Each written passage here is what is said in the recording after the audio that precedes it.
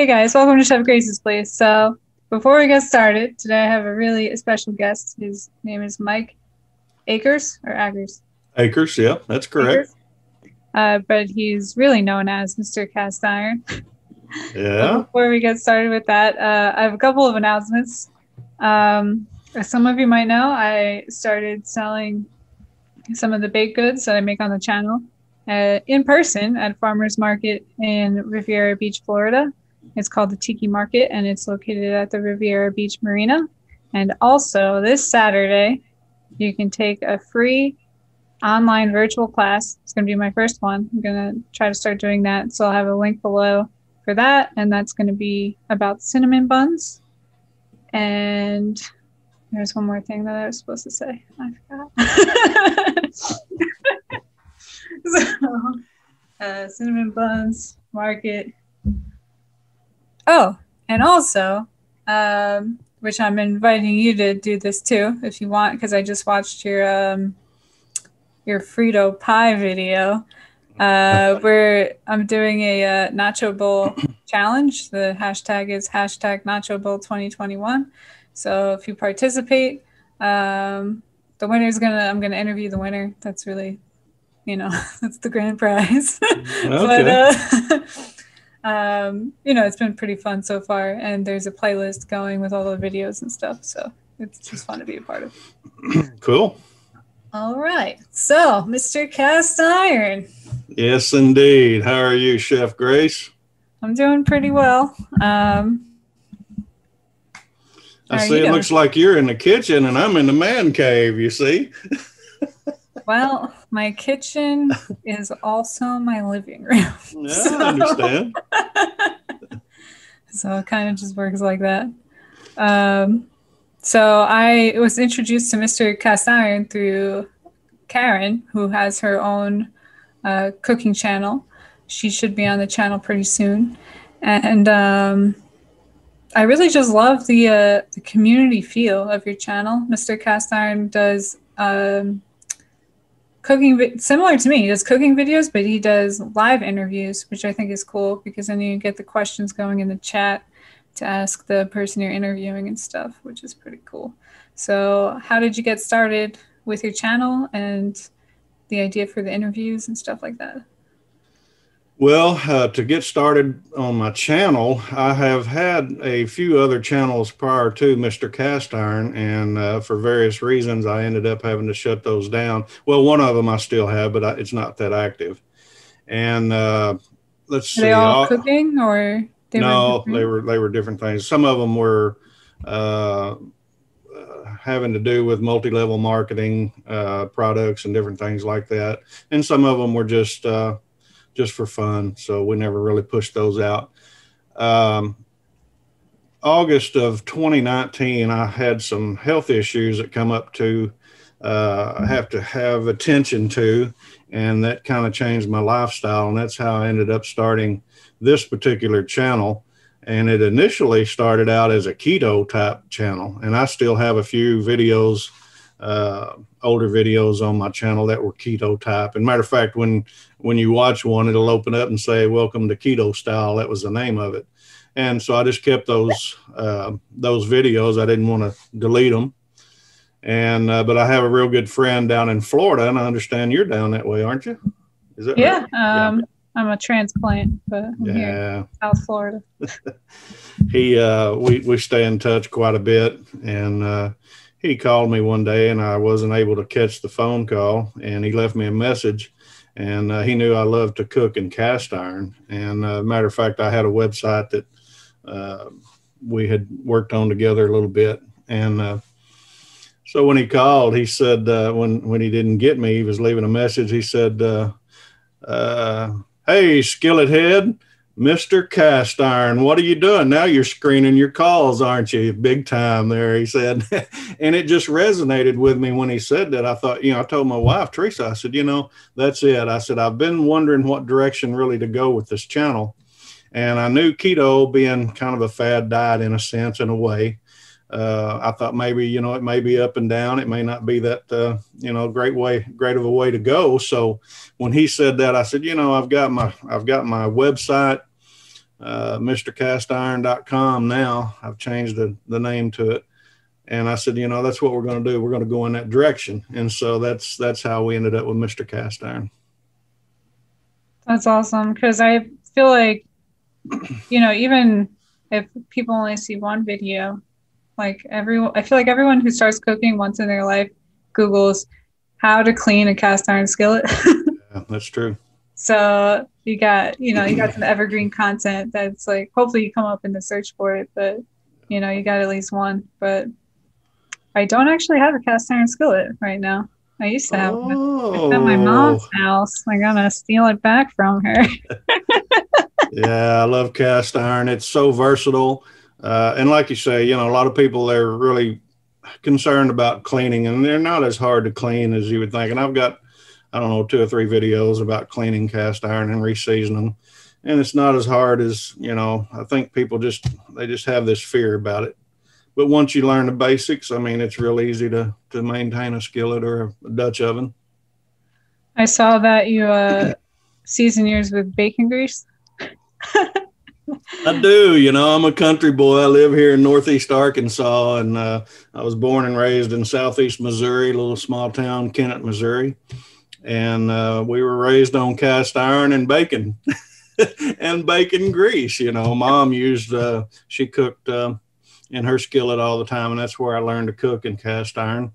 And uh, of course, certainly uh, the bacon or lard they even used back in those days, you know, a lot and lard is just uh, it's just rendered pork fat, and so that's the same as bacon grease. And uh, uh, so it just it just does real well on cast iron. It keeps them in the shape they need to be in. It's not that great for your arteries, though.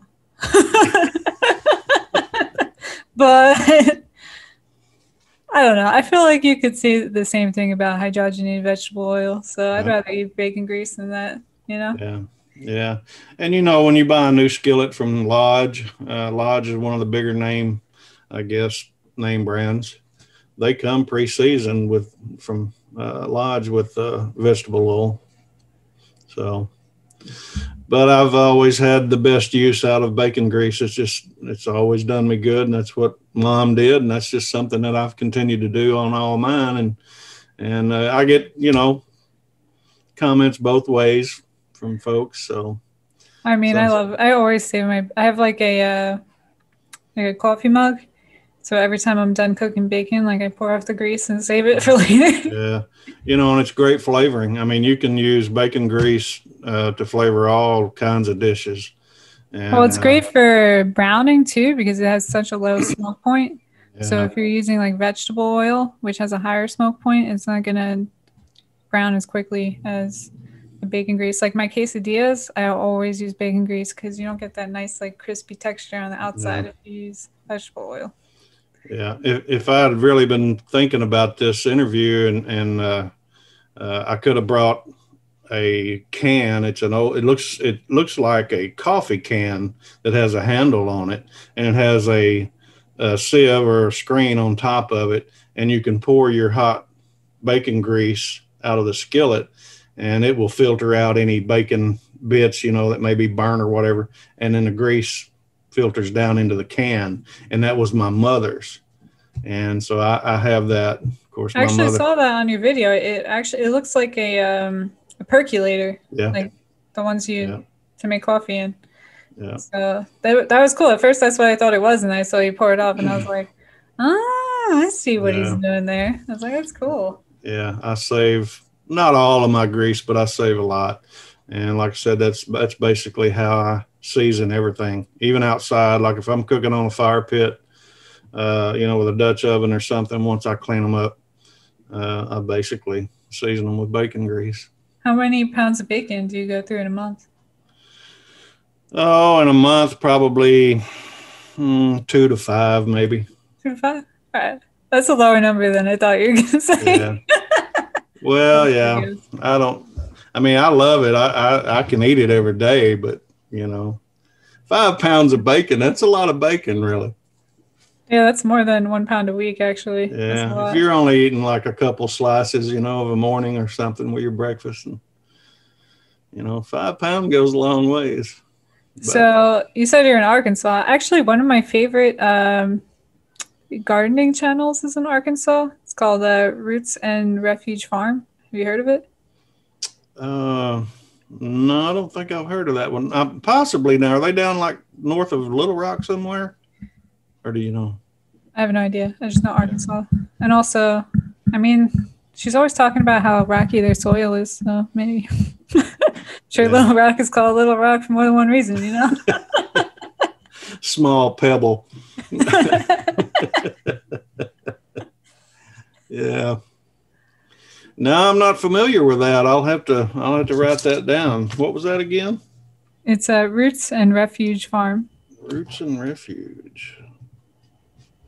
Okay. It's kind of like a vlog, but you know, they do the gardening stuff too. Garden tour yeah. stuff like that. Yeah. Yeah.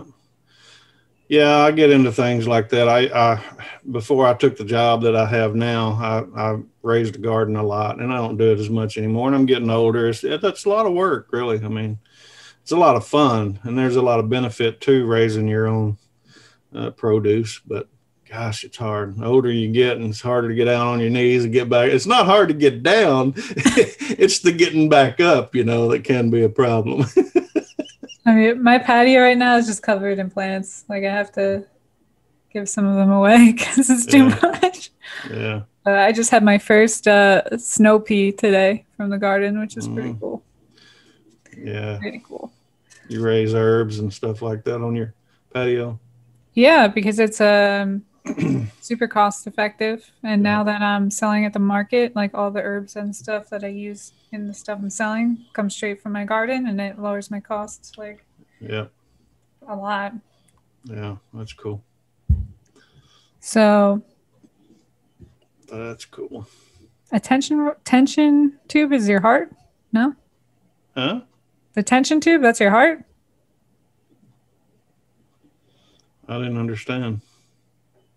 The tension you were saying you had, you had the health problem with the tension tubes. oh, oh, oh! No, it wasn't my heart. No, I had. Uh, uh, my family has had uh, a history of pancreatic. Uh, well, I had a brother that passed away from uh-huh. pancreatic cancer, and a nephew, and I had an attack, and uh, it was just a matter of changing my diet, really, and so we did that, and that's kind of how I got started on keto and just cutting out the white flours and you know white vegetables and things like that and kind of eating a little more when you make french fries. Yeah. Well now i can't say that i stuck with it now i do that's the problem but you know it's a battle. I mean that that's really a battle. And of course my wife she's type 2 diabetic so we have to really I mean, like when I make those French fries and bacon grease, like that video you're probably talking about, I, you know, it's something that she's not able to participate with me a lot of times. I, I try to. Oh, it'd be torture because it would smell so good. yes, it does. And I just love fried taters. I, I grew up that way, you know, and uh, it's hard to get away from, you know, and that kind of food's so tasty and it's just hard to get away. It's just, you got to make a lifestyle change. And I mean, we, we, you know, we fall off the wagon occasionally, but we have to try to stick to uh, a little better eating habits for her, you know. And I don't know if you caught some of my other live streams that I did, uh, especially back around Christmas. Um, she and I both contracted COVID. I, I got it first and brought it home, and and uh, she got it later. I was hoping and praying she wouldn't get it, but she did, being diabetic and everything. I was really worried about that, but it affected me. I mean, it was. Uh, I'm fairly healthy. I, have very rarely been to a doctor or been to the hospital or anything. Uh, you know, for sickness. Now I've been.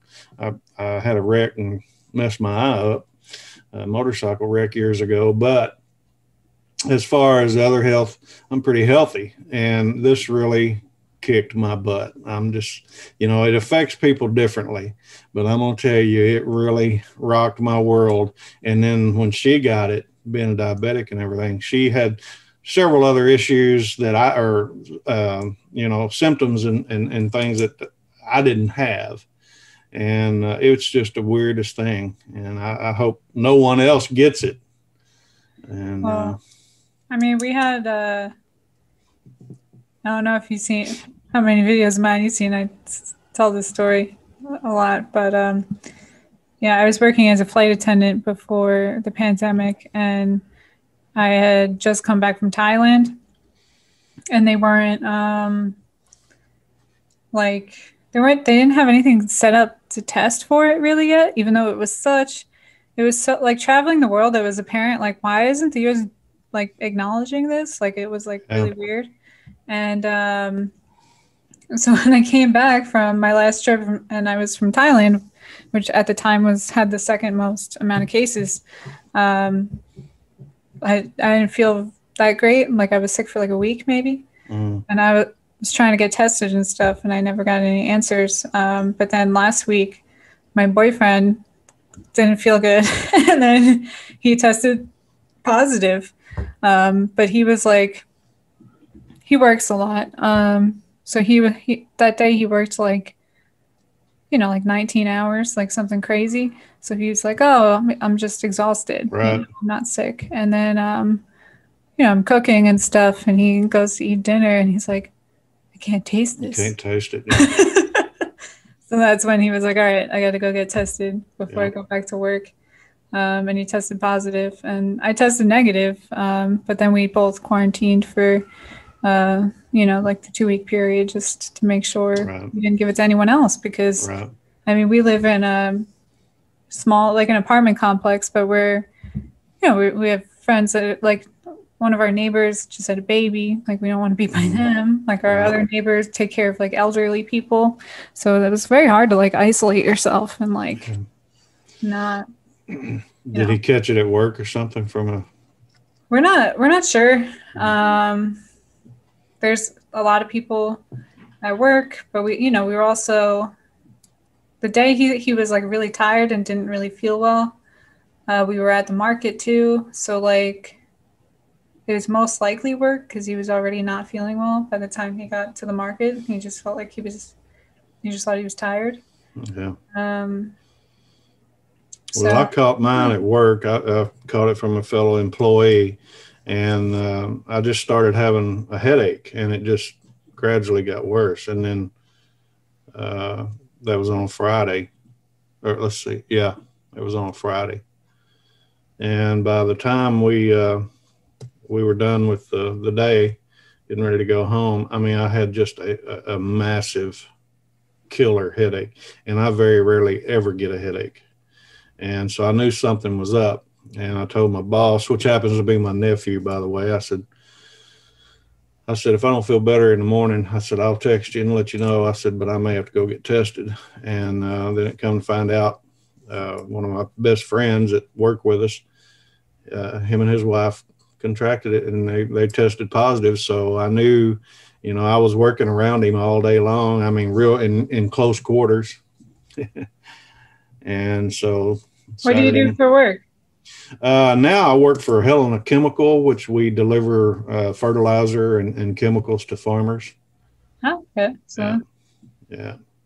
So you get you should have a garden. You probably get free fertilizer. Well, I know, but the th- that's the thing, you know, when when it's time to raise a garden and put a lot of time and effort into your own personal garden, we're out helping farmers to get their crops in, so we don't have time, you know, and so that that's what happened. That's kind of why I quit raising a garden because I just don't have time during the the prime time to raise a garden.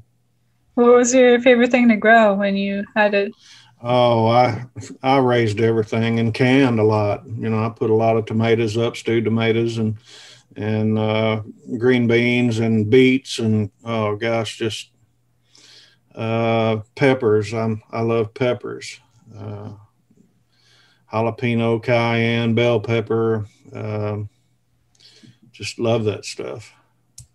And I'd raise peas, uh, black eyed peas, purple hull peas, uh, greens. I, am I'm, I'm a big green eater. I love turnip greens, mustard greens, collard greens, um, you name it, cabbage.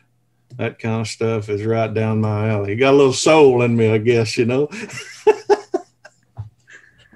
I'm trying to grow Brussels sprout, a Brussels sprout plant, but I don't think it's gonna yeah. work out on my porch.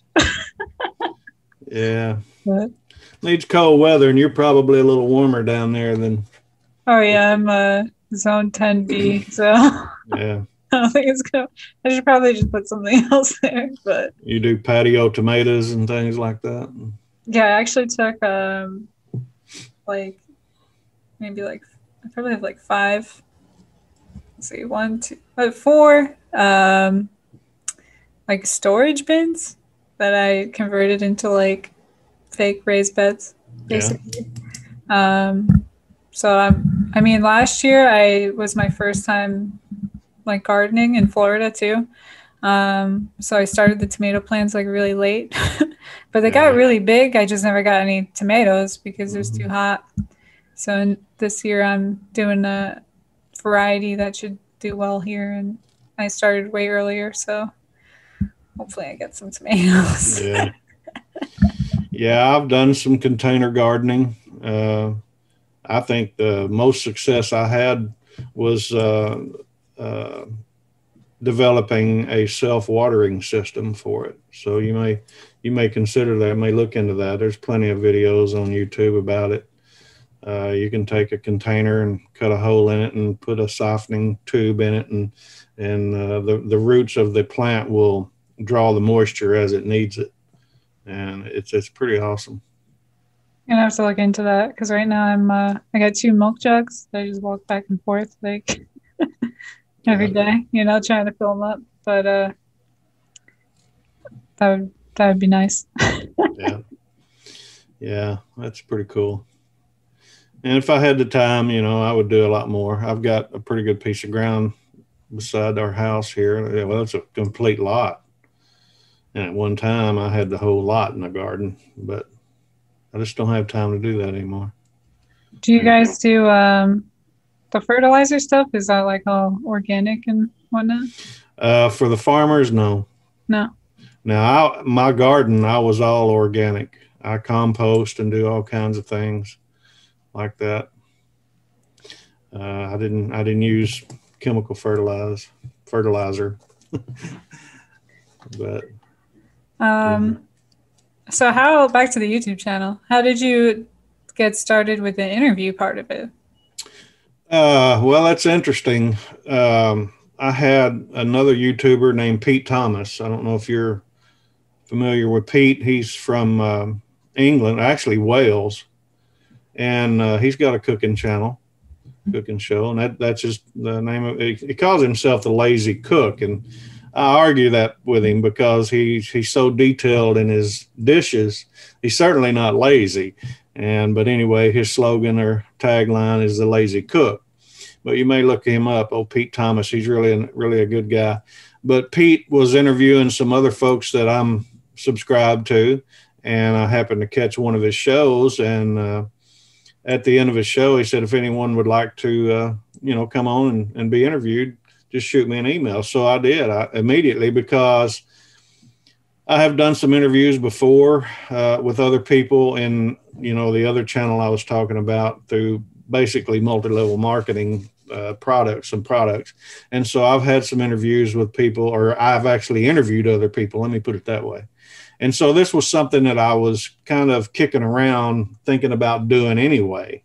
And so when I went on his show, we talked a little bit about that, and it was just an inspiration to me. It was just kind of a, a confirmation, I guess, if you will, to go ahead and just start doing this. So I jumped out, and uh, you know, we had a great response. We had a lot of people that uh, you know started participating, coming in, and and it's, it's great. And so I, I, started looking around at you know a, a, format that I could use that was real easy, and I use uh, StreamYard, which is a cloud-based program. You don't have to download any software or anything, and a lot of people on YouTube are using it and uh, it, it's great. I, I love it. I, I, use it every week. I uh, I had to uh, back down this week, starting in March, from two shows, uh, a Saturday night and a Sunday night. I've had to back down to just one now from uh, on Sunday night until around July the 4th because our busy season's coming up and there's a lot of Saturdays I'm working and I didn't want to take a chance on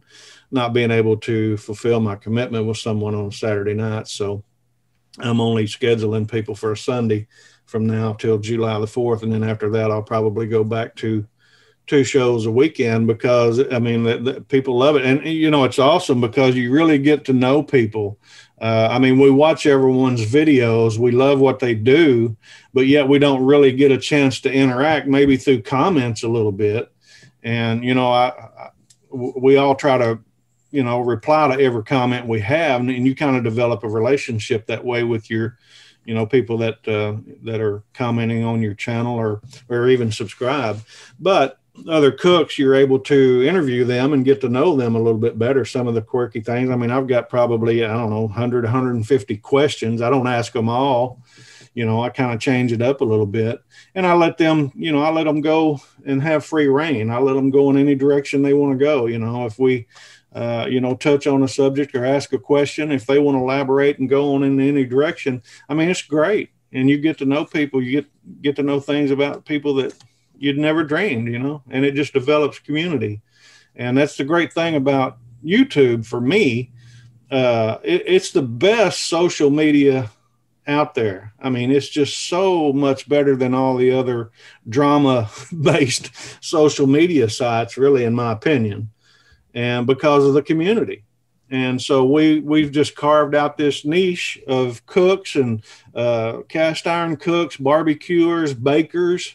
You mentioned Karen. I interviewed uh, in the kitchen with Karen. She's just great. I love her. You know, me and my wife both. You know, we still stay in touch with everyone we uh, interview, and we we've just developed friendships.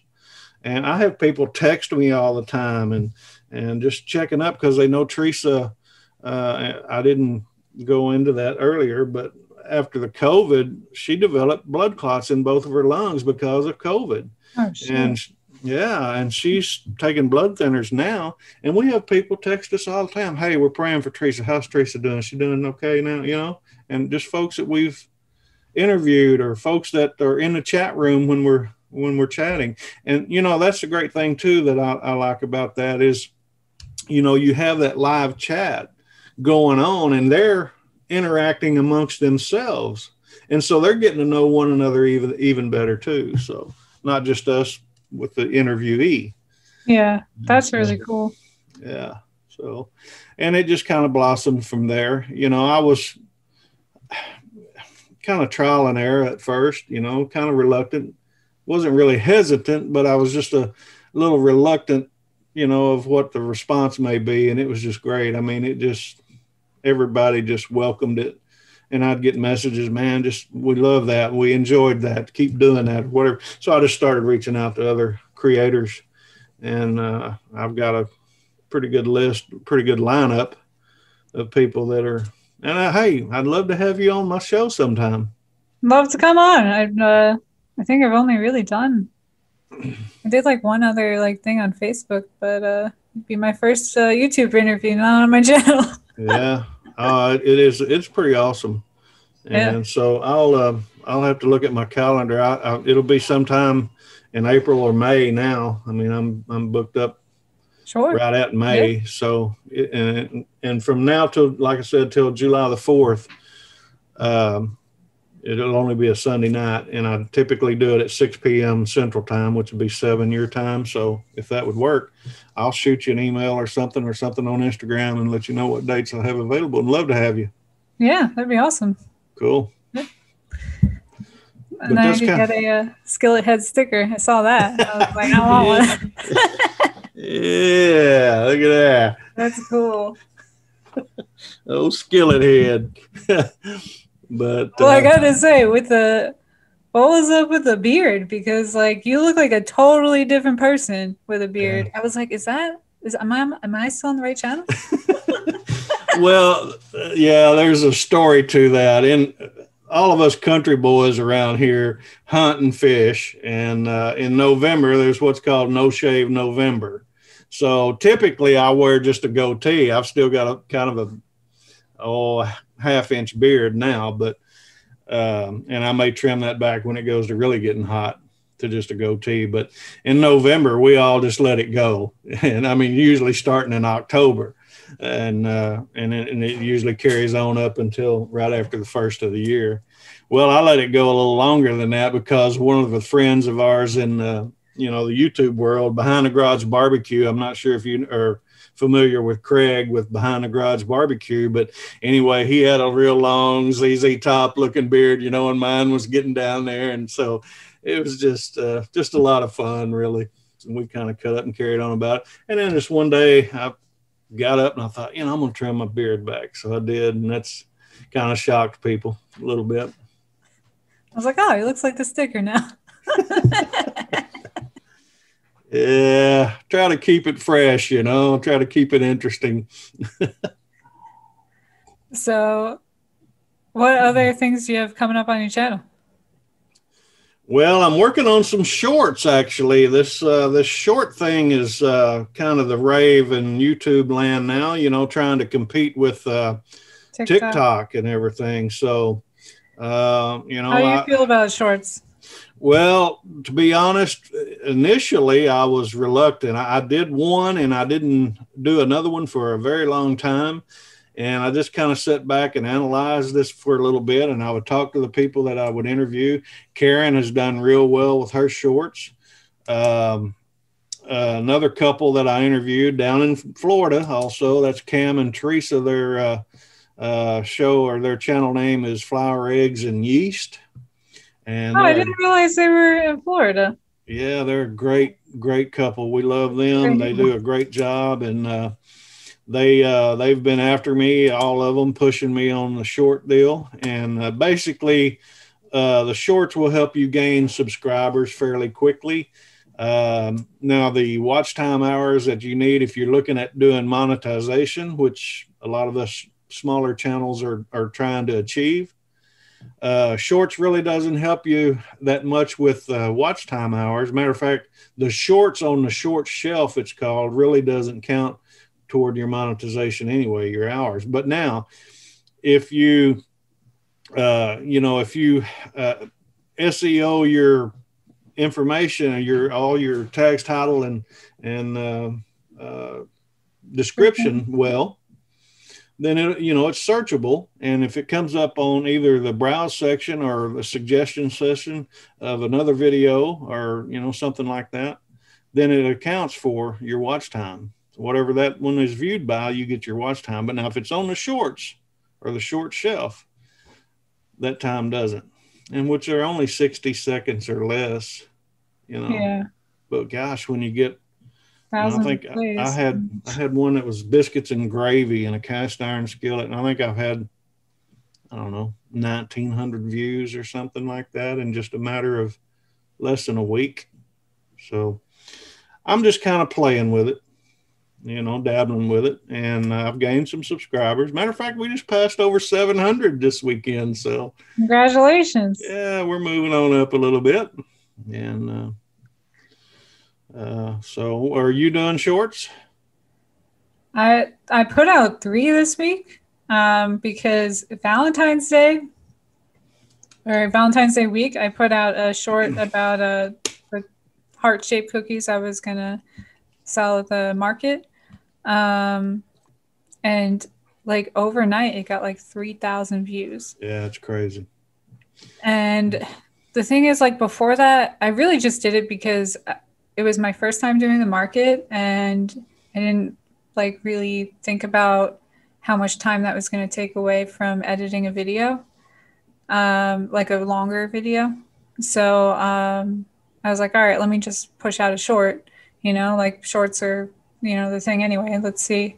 But uh, before that, like, I just keep thinking, like, I don't want YouTube to become TikTok. Like I really do enjoy YouTube as the, you know, the community aspect. And I just feel like if you don't get to have these like long format conversations or even long format video content, you use a lot of the context of what you're trying to say. Right. And um, so I hope it, it doesn't like just trend towards being just like TikTok. Like I don't need another TikTok. yeah. Yeah, that's what I like about the live interviews because you gain so much watch time hours uh, when you do a live on YouTube uh, versus just uploading a video. Like I may upload, uh, say, a cast iron, whatever, whatever I'm cooking, and I may get X amount of views. Well, you know, I'm only getting a certain amount of, of watch time hours.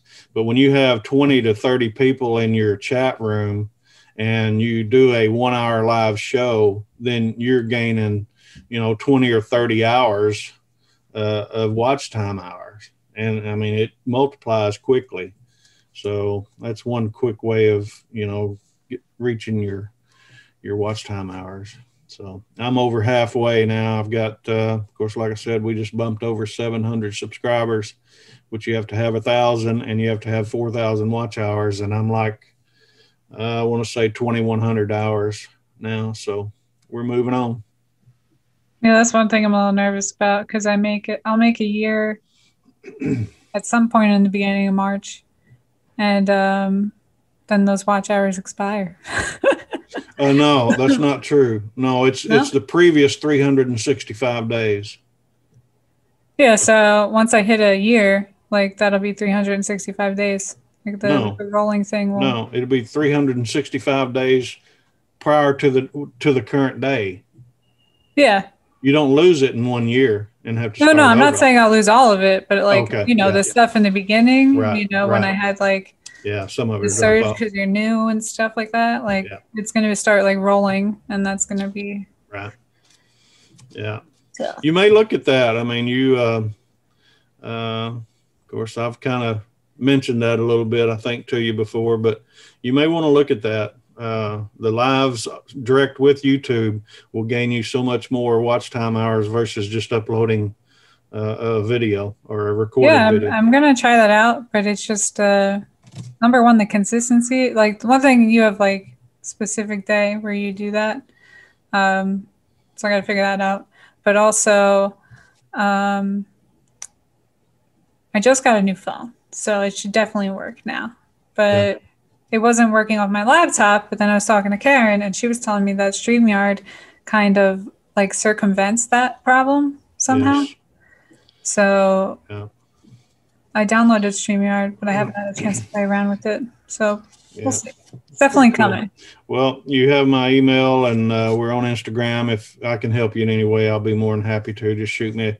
You know, I, I've, I've fooled around with it quite a bit. I, I, know quite a bit about it, and I use it all the time. I love it, and uh, I mean it's it's not the perfect format. There's there's issues from time to time. Matter of fact, I was interviewing a guy from Tennessee the other day, and it just I mean it just died on me.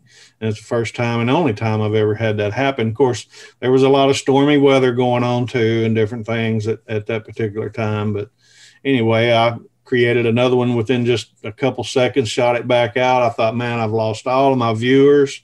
But uh, the uh, the moment that I created, um, you know, the uh, the show, it popped up and they got notifications, and everybody were right back in the in the chat room. So we never really lost anyone. He was able to get back on, and uh, we had a great interview. But it showed up as two videos. Okay, so it goes directly so the people that are watching are, yeah, I was watching on YouTube. There we go. All right. Never mind. I answered my own question. yeah. Yeah. Yeah. It's great. And, uh, but the uh, amount of watch time that I've gained versus just uploaded, you know, just a general uploaded video, uh, quite a bit of difference. And so, so what's another... your favorite? I mean, I'm sure you don't have like a you might have an all-time favorite thing to cook, but I feel like I don't. I feel like you have like a like go through like cycles and phases of yeah. cooking things. So yeah. what's the what's the favorite right now? Uh gosh, I love a good fatty ribeye. I love to cook steaks. I cook for Teresa and I all the time. Um, whether she's lying to me or not. She said, Mike, you cook the best ribeye. she said, this is better than any restaurant we ever go to. But, you know, it's just years and years and years of, you know, fine tuning it. I love to do that. Uh, one of my favorites uh, is chili. I love to cook chili. And uh, I've got that recipe that it's not too hot for people. And, she doesn't like a lot of spicy food anyway. But I, I have uh, I have it right probably to the edge of what she can stand. I, I bump, you know, I push the envelope a little bit with her, but it's all good. Um, gosh, I don't know. I what do you I like just, to eat your uh, chili with? Are you a potato person? Are you a rice person? A cornbread person? Uh, cornbread's great. I love that. But basically, uh, I like uh, Fritos and scoops and stuff like that. Just yeah, chips. Just pour the chili over some chips and got some sprinkled cheese, and or that's what we call it anyway, shredded cheese, but a little sprinkled cheese on there, and maybe some jalapeno slices or something like that if you like them. And man, I'm good to go. Eat a bowl or two of that, and I'm looking for a recliner. yeah, we got to sit down somewhere, maybe lay down, you know. maybe uh, some chili nachos would be good for the nacho bowl. Yeah.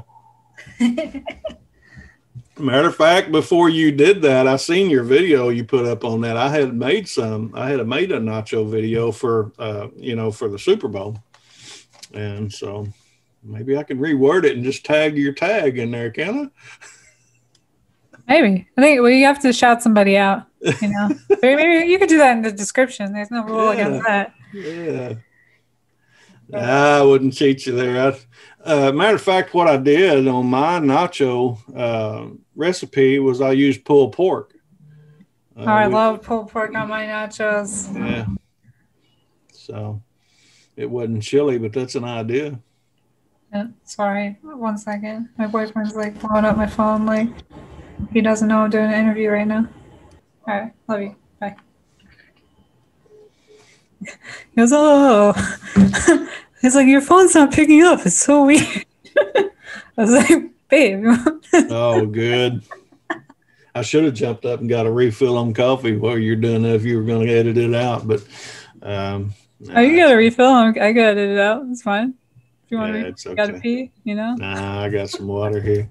I, I, wasn't sure what to expect or how long you normally do one. I typically try to do an hour on my uh, interviews, but sometimes they they go hour and a half, two hours. I mean, it's just so interesting, and they just uh, so many questions pop up. You know, that's another thing too that I, I failed to mention earlier, and may, maybe I did. I'm not sure, but the the interaction out of the chat room because they'll they'll go to asking questions that you can ask the guest and just the interaction amongst all of them it, it's just powerful and of course youtube you know they look at all that reaction how much chat how many chat messages there are uh, how long someone stays on and all that has an impact on your on your uh, video yeah i was thinking about that too because i'm trying to do you think I mean, have you done it before by yourself? Because I noticed like your wife helps out with reading the comments, and I don't. It uh, seems like that might be a lot. Yeah, Saturday night I did uh, one by myself. Um, interviewed a gentleman from uh, around St. Louis area, uh, Brandon with Taylor's Fire and Smoke. I'm not sure if you've ever seen any of his videos or not. He's a great cook too. Uh, but I did that. I was running solo now, you can uh, have people as moderators. You can assign people, other people, to be a moderator, and I've got a couple moderators. And mm-hmm. so, what they do, uh, the moderator will have a there's an insignia beside their name. It's a blue wrench, really, is what all it is. It looks like a wrench, and it's blue colored, and you can tell that. You can spot that in the chat room, and usually uh, I have a guy from down in Trinidad and Tobago. He's my moderator, and he's real good at it. And uh, he will usually tell everyone in the chat room if you have a question for uh, whoever I'm interviewing, just to be sure and put the at symbol at Mr. Cast Iron and whatever the question is. So when he puts at and my name, it highlights my name in the chat room where it catches my eye. Matter of fact, it turns my name orange and I can see that pop up in the chat room and I know he sent me a message basically that there's a question. And so I can pop that up on the screen of whatever the question may be for that for that guest. Oh, that's awesome. Yeah, it's pretty cool. I think my neighbor, maybe I can get my neighbor to help me. My neighbor, um, I'm gonna have him on the podcast too, but he um, he's from the Bahamas and he actually got me into the tiki market. He um, he always wanted to be a pastry chef, and uh, I had the plants outside, which is another reason I love the plants because all my neighbors start talking to me then. And he was, you know, hey, I like the plants, and I was like, oh, you know, I was talking to him, and then um, so I wound up trading him basically like pastry chef lessons for um, a ride to the the farmers market and like yeah. introducing me to like the people there and stuff like that. Yeah. So we kind of have like a barter system going on. So maybe I can uh, cool. Get him to moderate the chat for some yeah. more pastry lessons. Yeah. and you can have as many moderators as you want. Uh, I'm probably going to add a few more. Teresa helps me when she's here. and then I have two others, but I'm looking at maybe adding a couple more. That way, you know, if someone's not able to make it that weekend, and we can have someone there. And you know, it's just the world we live in. I mean, you may have a troll every now and then it'll pop up. I haven't that I've noticed, uh, but I've heard other people that do live interviews say that. But the moderators can eliminate that. They can delete that message out. You know, if there's uh, you know, if someone's cussing or saying something or pestering somebody or whatever, you know, just some people just they don't have a life and they want to run everybody else, you know. I, I welcome the trolls. I uh I don't think the uh you know the censorship censorship censorship is not say that three yeah. times um you know i think the uh, solution to bad speech is more good speech it's not uh silencing people because uh you know they're not going to learn anything they're just going to be like that fuck you but they're yeah. not going to even if they don't learn anything anyway you know i think it's important to just you know show them that i see you. You're not welcome. Yeah. you know? Yeah. So yeah. you know there i had a couple trolls on one of my my videos that i still got to redo about sharpening a knife. Um, and they weren't um, they weren't wrong with the like the sharpening the knife part. Like it was a different in culinary school. You learn kind of to do it like a swiping motion, but it seems like in the hunting realm, you learn more like straight up and down, like this. Um, but the straight up and down actually does get it sharper. Like I wound up testing it and going, oh, this is actually better. Um, but everyone, but like one, one person was like very like informational. And I really appreciate like that kind of critique really in right. the comments. Yeah. But the other people were like, this dumb bitch, I'm going to mm. like shank her yeah. with my sharp knife because she's got a dull one. I'm yeah. like, come on, man. but, uh, and then there was one guy who was like literally dressed up like a troll. Like he had like a shield and a sword and like the fur, and I was like, "You look like you look on live under a bridge, man. Like, what are you doing?" But um, so far, I haven't. Like, those are the worst ones I've gotten. Besides, like the ones that are just like porno bots, you know. Those are yeah, I delete those out fairly quickly as soon as those pop up. And, it's always uh, it's always the same Asian lady with uh, censored out nipples. Yeah. She shows uh, up on everyone else's. I'm like, you cheating on me? What are you doing? yeah, yeah, yeah. That's. I mean, it, it, it's few and far between, really. We talk a lot about that from time to time on our show. Uh, you know, if you have stuff like that, it's a question I ask sometimes. You know, you get any negative feedback or whatever, and uh, very rarely. You know, that's a great thing about YouTube. I mean, it's it's it's it's it's few and far between, really and uh, that's that's good. It's exciting. I uh, I really enjoy YouTube more than anything. Um, Facebook, I mean, we still keep Facebook just basically to you know, make sure friends and family are doing okay, or someone hadn't passed away, or whatever, been in a bad wreck, or whatever the case may be. You know. Well, I we feel try- like Facebook is very like uh, pay to play now. Um, a lot of my posts just they don't get seen at all unless I was going to boost the post and pay for it like an advertisement. Um, like you know, even just putting a YouTube link on there or um, I tried to put the link on for the free class that I'm doing, and like nobody saw it. you know, so it's yeah. YouTube will if people like the stuff, it will. I mean, obviously, because there's so many more content creators now, um, it does get to the point where it is a little bit of pay to play, but it's nothing like Facebook. You know. Uh, maybe one tip that I might could share with you on that of experience that I've had with it.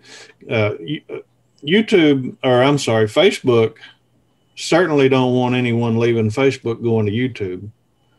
Yeah. Uh, uh, you know, true. so when you put a link, a lot of times Facebook kind of yeah, they don't they show it. it much. But if you take and write some kind of little article in your uh, status, and then just say, you know, if you're interested in this or whatever, it'll be down in the comments. And then you leave your link in the comments. And I've had better uh, luck with that versus just uploading a, a YouTube link or something. So, hey, check this video out.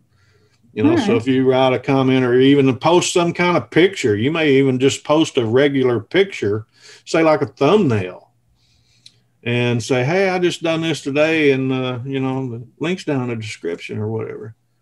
You you may get hmm. better. You may you may get better reaction than that because if it's just a raw link like that from YouTube, I've had them like not show up much and people didn't see it, didn't get much action or reaction or whatever. Hmm. Are you on the TikTok? No, I haven't done the TikTok thing now. My my daughter-in-law is, and she's done real well with it. Of course, they're, you know, they're 30 years younger than we are. So, but uh, are they, they also uh, doing cooking? Or are they doing something else? Or? Nah, she's a school teacher, and uh, she's an art teacher actually, and she's real creative. She does all kinds of things, but the kids, um, my my nephew is he didn't get in trouble, but a couple kids in the class, they you know they're all doing the virtual learning. Uh, they got in trouble for making TikToks of the class. Yeah. oh, like kids these days. Yeah. Are you on TikTok? Uh, I've done a couple. I probably have like four or five posts on there. Basically, every time I make a short, like yeah. I'm just gonna also put that on TikTok. Like I might as well. You know what I mean? So. Mm. Yeah, I just hadn't got on board with that. It's kind of like shorts, you know. It's the same thing. Yeah, I piddled around with. I'm I'm kind of getting into it because I'm getting some traction with it, and Karen and and Teresa, Cam and Teresa, you know, those two channels, they kept after me. Mike, you got to do it. You got to do it. You need to do that, man. You'll gain a bunch of subscribers. You'll gain. So, so I gave in. I got soft and gave in. what was the first short about? The very first one I did was uh, it was a mountain man breakfast actually out on a fire pit, and it was right when. What's in uh, a mountain man breakfast? Mountain man breakfast. It's a uh, a Dutch oven breakfast, one pot breakfast that has you basically start out with your onions and bell peppers and you saute them down, uh, fry your sausage and bacon or whatever, and and uh, take those out and let those drain, but you still keep the bacon grease in there, you know, to saute your onions and bell peppers and everything. And uh, then you may want to drain them off or whatever. Uh, once you do that, you add your sausage and bacon back in, put your bell pepper on top. Uh, then you add a little bit of garlic if you like garlic. And uh, then you uh, uh, whisk up about 10 or 12 eggs and pour that on top. And then you let that put your lid on, put it on the fire or charcoal, whatever you're using. And uh, you let that cook for 15 or 20 minutes till the eggs set. And then you pull the lid off and put some sprinkled cheese on top of the eggs. And you put your lid back on, let that set for about five to seven minutes, pull it off, and you got a big meal for a big group. You know, d- depending on you know what size of uh, Dutch oven you're using. So I love that, that term, uh, sprinkle cheese. I never heard it before. You'll be using that, won't you? Yeah. uh, don't forget your sprinkle cheese, folks. You got to have it. Sharp cheddar, by the way. I keep thinking about uh like the Salt Bae, the like sprinkle cheese. yeah, be sure and you know and sprinkle it. Get your sprinkle cheese on there sprinkle for your fingers. pizza. yeah but that uh, that one did pretty well. I mean, I got quite a bit of traction with that, and uh, then I just backed off and didn't do anything with it for a while. Basically, my my hang up with it was watch time. I thought, you know, I'm only getting 50 whatever seconds, however long that was, you know, and so I'm really not gaining a lot of traction, and it doesn't even count for. Why should I even do this? And so they convinced me with the subscribers because we, uh, several of us, um, we all basically started these channels about the same time, and they just exploded with their their content, great content. They're bakers, and um, they all do a great job, and they gained a lot of subscribers, and uh, so they convinced me. I mean, oh yeah, that's convinced me too. As soon as I did the cookie video, I was like, oh, I'm gonna do this more often. Yeah. So I see a. Is that Woody back there from Toy Story? Yeah, yeah. Look at that. You got a little collection going on there. Yeah, it's my wife's collection. Actually, it's our her son, my stepson, some of it, but Teresa's mainly. Got cool. a whole box there. Let's see there. Oh, cool. Do you build those and put them together, or you just buy them like that? She just bought them like that. cool. Yeah. This is my little man cave. This is where I do all my interviews and everything. It's my office, and we got. Yeah, what, what would give it away though? Is a man cave. yeah, man cave. Got that green sign up above the clock there that says Green Acres which is a play on words. My last name is Akers, so it's A K E R S and not A C R E S. But uh, I just use that as a play on words. I've heard that all my life. You know, Green Acres is a place to be. uh, so I've always used that. You know. I actually have no idea what that is. No, that's no. an old show. Yeah, Green Acres. You have to look that up. It's a, it's a guy from bought a farm and he had his wife. She was from uh, Manhattan, New York, and they went out and lived on this farm. And it, it's just it's it's a funny funny show. It was old. It was back in the oh gosh, I'm gonna say late '60s and all through the '70s. And I mean, you can find it on YouTube. TV now. Yeah, well, yeah, you can certainly find it on YouTube. You can find a Green Acres clip. I'm I'm certain.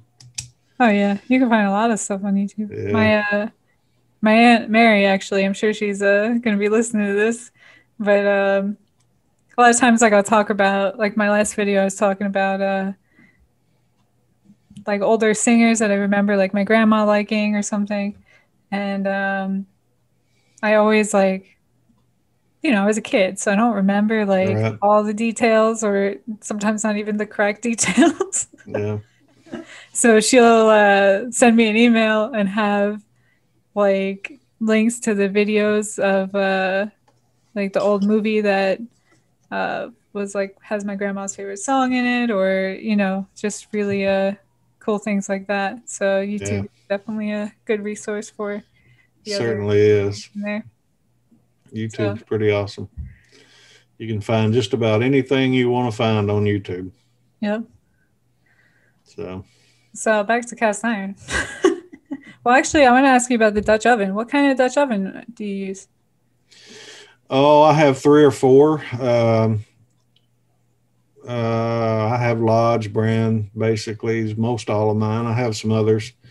Um, are they enameled in the inside, or are they all? No, they're they're just the real raw cast iron that are seasoned. Yeah, Yeah, enamel's fine. I mean, you know, it's cast iron. I see a lot of people do that on on a stove, but you can actually do uh, a Dutch oven. A camp Dutch oven doesn't have the three legs on it; it's smooth on the bottom.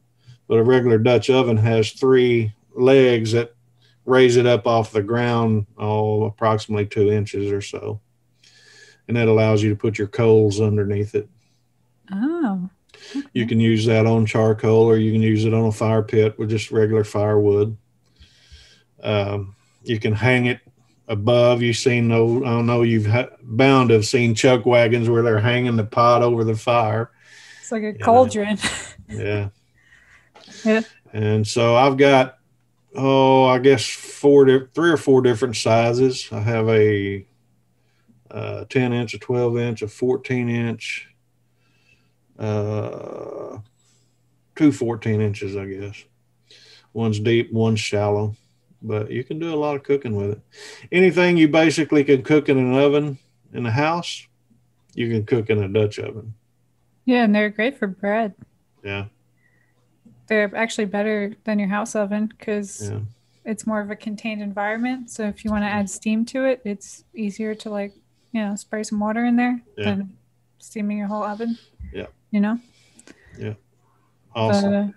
But, uh, I'm, I'm surprised you don't have one. I have a uh not a cast iron Dutch. I have like a stoneware one. Um that I use for bread. But you know, at some point in my life I'll get a Le Creuset because they're just so pretty. But uh Yeah. I want one I want one of those, but I also want one that like I could, you know, beat up, you know. Yeah. So we'll see. Well, they're durable. I'm telling you, they're durable. And they're, like I said earlier in the beginning of the show, they're real easy once you know the basics about it is to maintain. And uh, even if they get, even if you make a mistake and they get rusty, I mean, it's real easy to restore it real quick.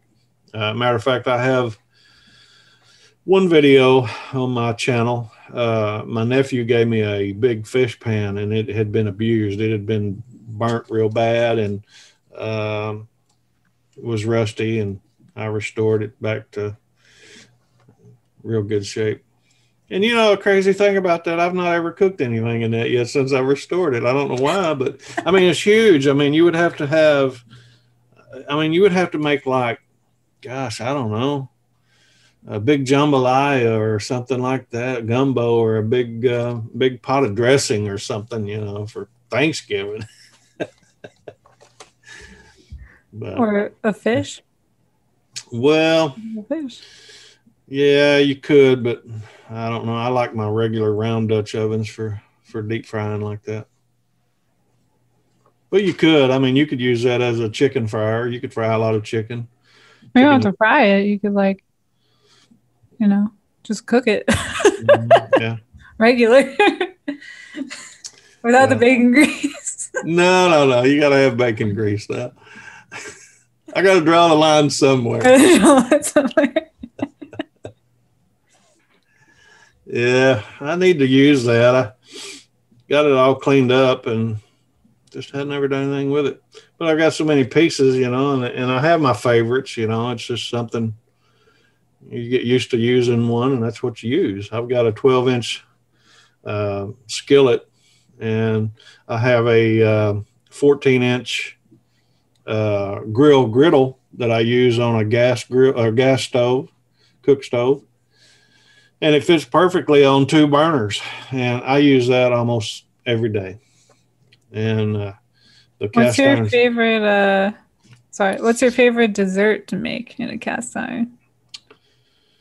oh well uh, i've made some cobblers like you cobbler like a good cobbler. Yeah, Have you ever made a apple tartan? nope I think you would really enjoy it. It's basically apple pie. It's like fancy apple pie, right but uh, you saute the apples and then you kind of like like arrange them nice in the pan, yeah and you put some pie crust on top and throw it in the oven, yeah and then you flip it out. yeah And it stays all together. It's super pretty.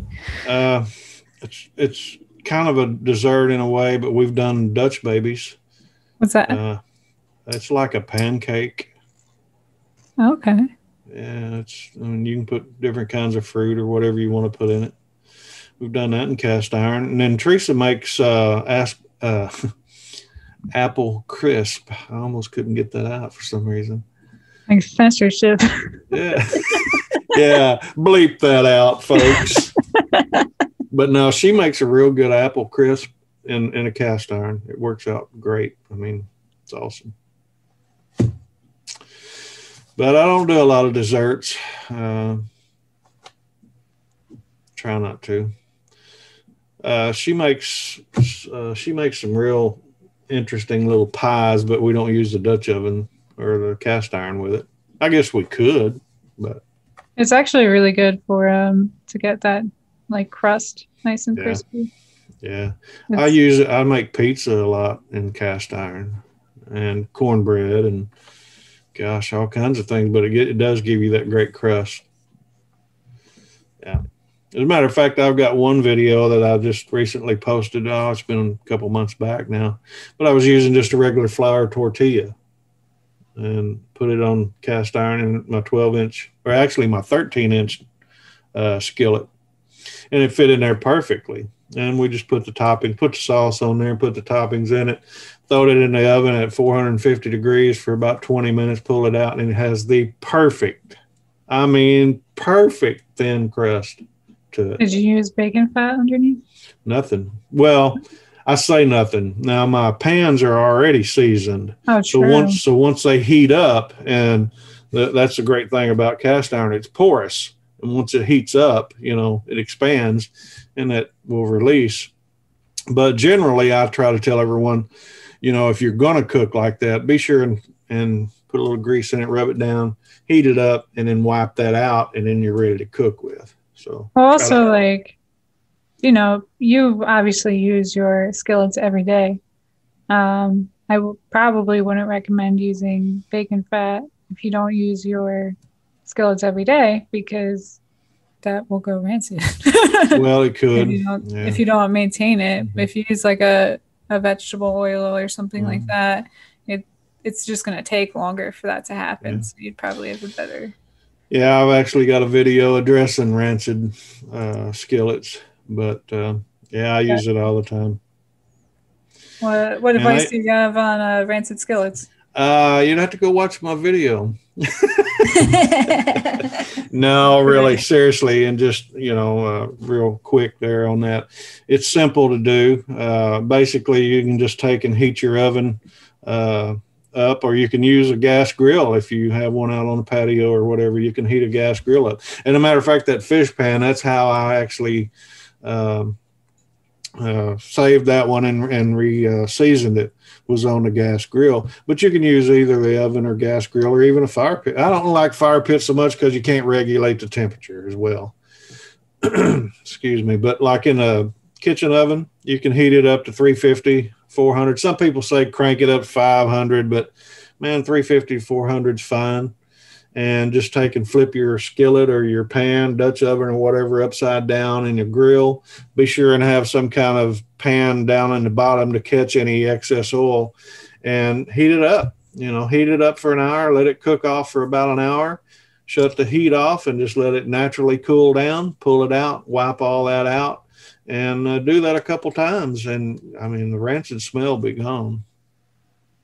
Because that smell is also bacteria, and we don't want anyone You can- sick. So it's. Initially, to set it up, I mean, you can actually use white vinegar and wipe it down real good before you start. okay. and you can just take vinegar and rinse it out real good, clean it or let it soak in there a little bit and rinse it out. And then, like I said, just flip it upside down in your oven, cook it 350, 400 for an hour, and uh, it'll burn off any rancid old oil. Oil is just, you know, it's just, uh, it's easy to get rid of, but it's also what you need to, to create that, what we call patina or the black finish. And uh, that's all seasoning is. A lot of people think that it's some, you know, mysterious thing, but I mean, it is in a way of what it is because the oil actually polymerizes. It, it adheres to the pores of that skillet once it's heated up, and all seasoning is is grease and heat. really, Well, I always thought, uh, you know, when you first hear seasoning too, like when I was a kid, like seasoning to me was like paprika or salt or Yeah, pepper, you know, like right. herbs. Right. so it's just like, wait, but what? But then how how Yeah. is it seasoned? I don't get it. Yeah. Is it garlic? I don't know. Shake a little more of that on there. This don't look like it's working too well here. yeah.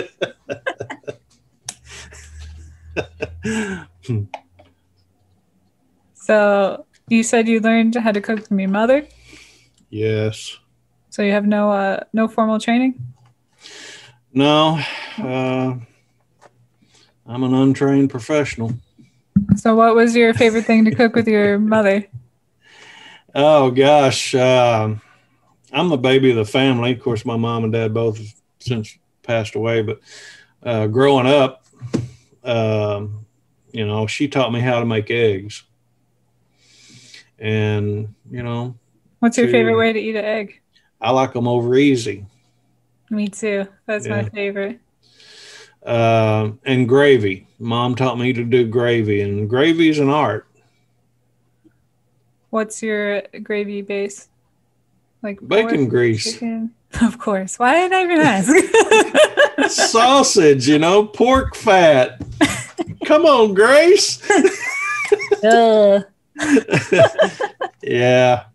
Yeah, I like sausage and gravy, biscuits and gravy. Do you make your own sausage? Uh, venison, I do sometimes. Venison sausage, breakfast sausage, which basically just, you know, I'm not, I don't know if you have done any venison dishes or anything, but venison breakfast sausage, basically you just take deer grind, which is kind of like ground beef, and uh, you can just take ground pork and add that together and mix those two together and then put whatever kind of seasonings so spices that we're talking about in with that, you know, like sage and whatever you want to add to it, whatever, however you want to flavor it.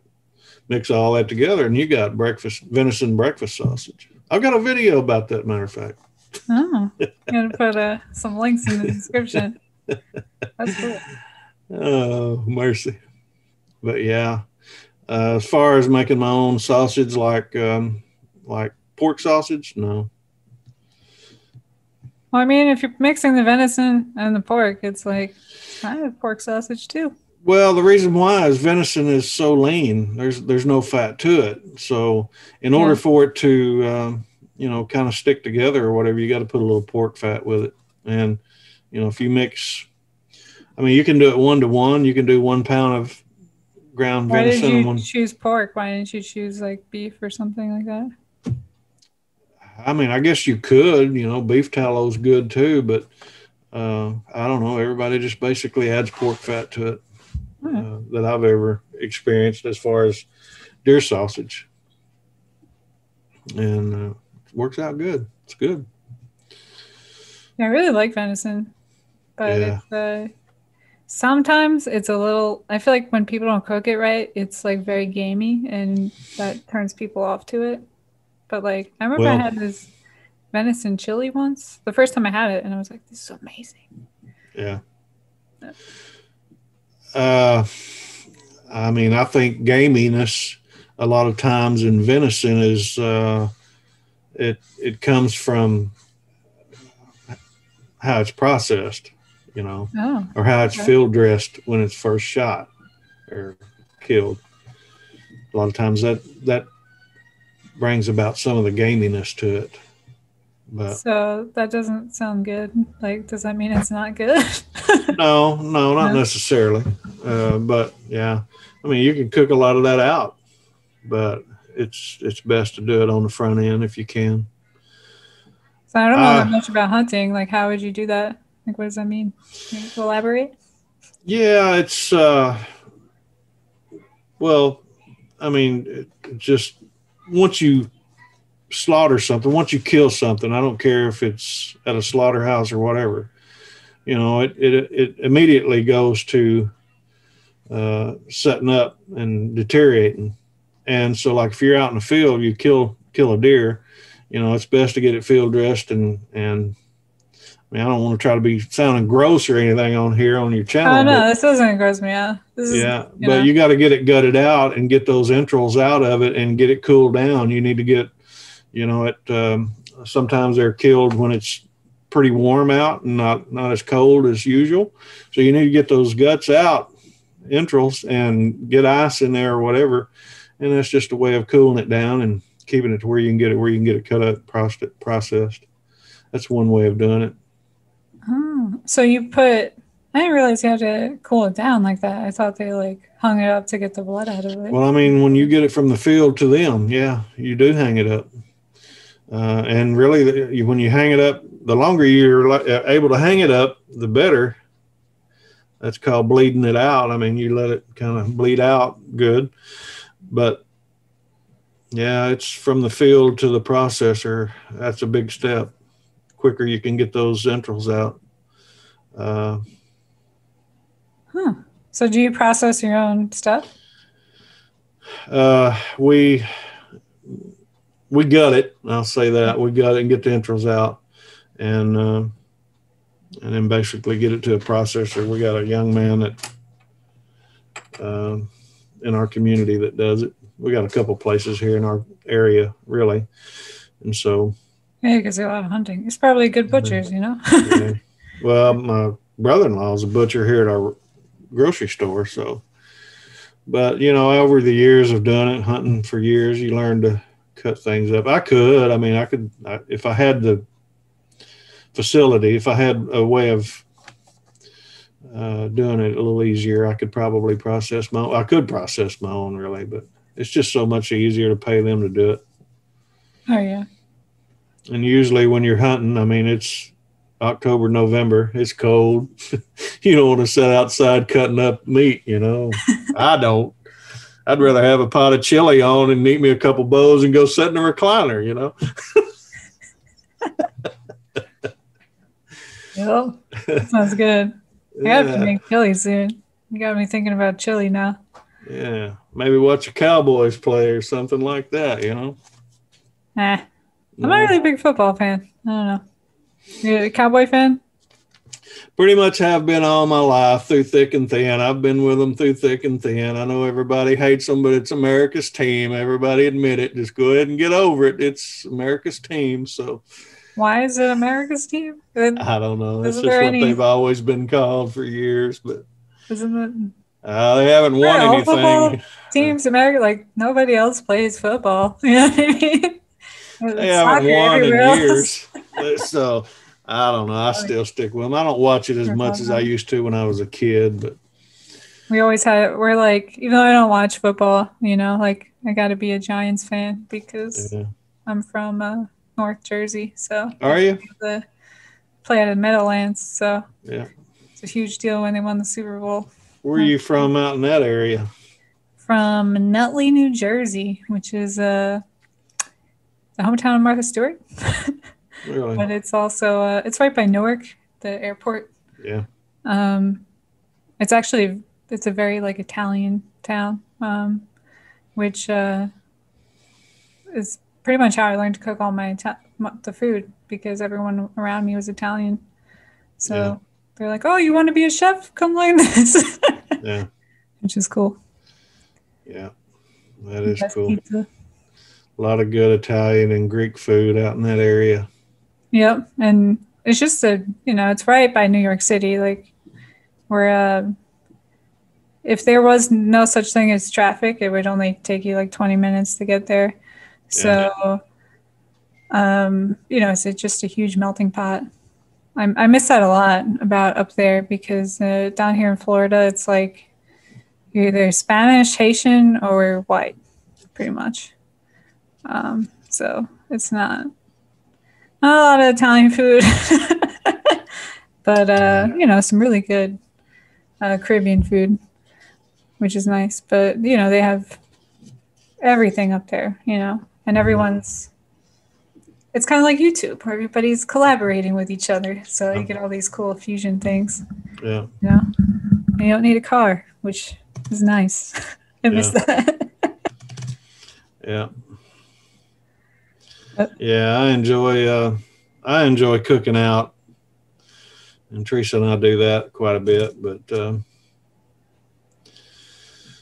it's uh, it's a lot of fun. We enjoy, you know, the fire pit, sitting around the fire pit, quiet, not a lot of noise, not a lot of traffic, and uh, cooking on cast iron. what cuisines have you tried to do besides like, you know, your classic American stuff? Mm. Oh, I don't know. I'm pretty simple, I guess. I, I, uh, I like soups and stews. I, I love, you know, of course, I mentioned chili. I love soups. I love one pot stuff. You know, I make a lot of one pot stuff. Yeah, because dishes are terrible. no one wants to stand there and do t- dishes all night, you know? Yeah. Yeah. Beef stew, chili. Um, gosh, I don't know. What's one cuisine that like intimidates you? Intimidates me? Yeah. Mm. And you'd be like, oh, that seems complicated. Uh, Italian, a little bit. Some of the things there. Uh, Italian. That's yeah. probably one of the uh, easier like, ones. Well, I just feel like you need not that many ingredients yeah. that are hard to get. Whereas like I really want to learn more about Indian cuisine and like you know the there's a just like a whole genre like Indian food is like really complicated mm-hmm. depending on like where you're from and like you know as Americans we generalize everything so like we got like Indian Asian but there's like so many categories yeah. within that so I did an interview with um a Indian Canadian in from India, moved to Canada. Um, so I think I'm gonna try to make like a tikka masala, mm. or a which isn't really Indian anyway, but uh, and naan because that's like such a cool bread. Yeah. And I think actually I think that would be really uh, like come out really well in a cast iron skillet. Yeah. If you because who has a tandoori oven lying around? You know what I'm yeah, saying? That's right.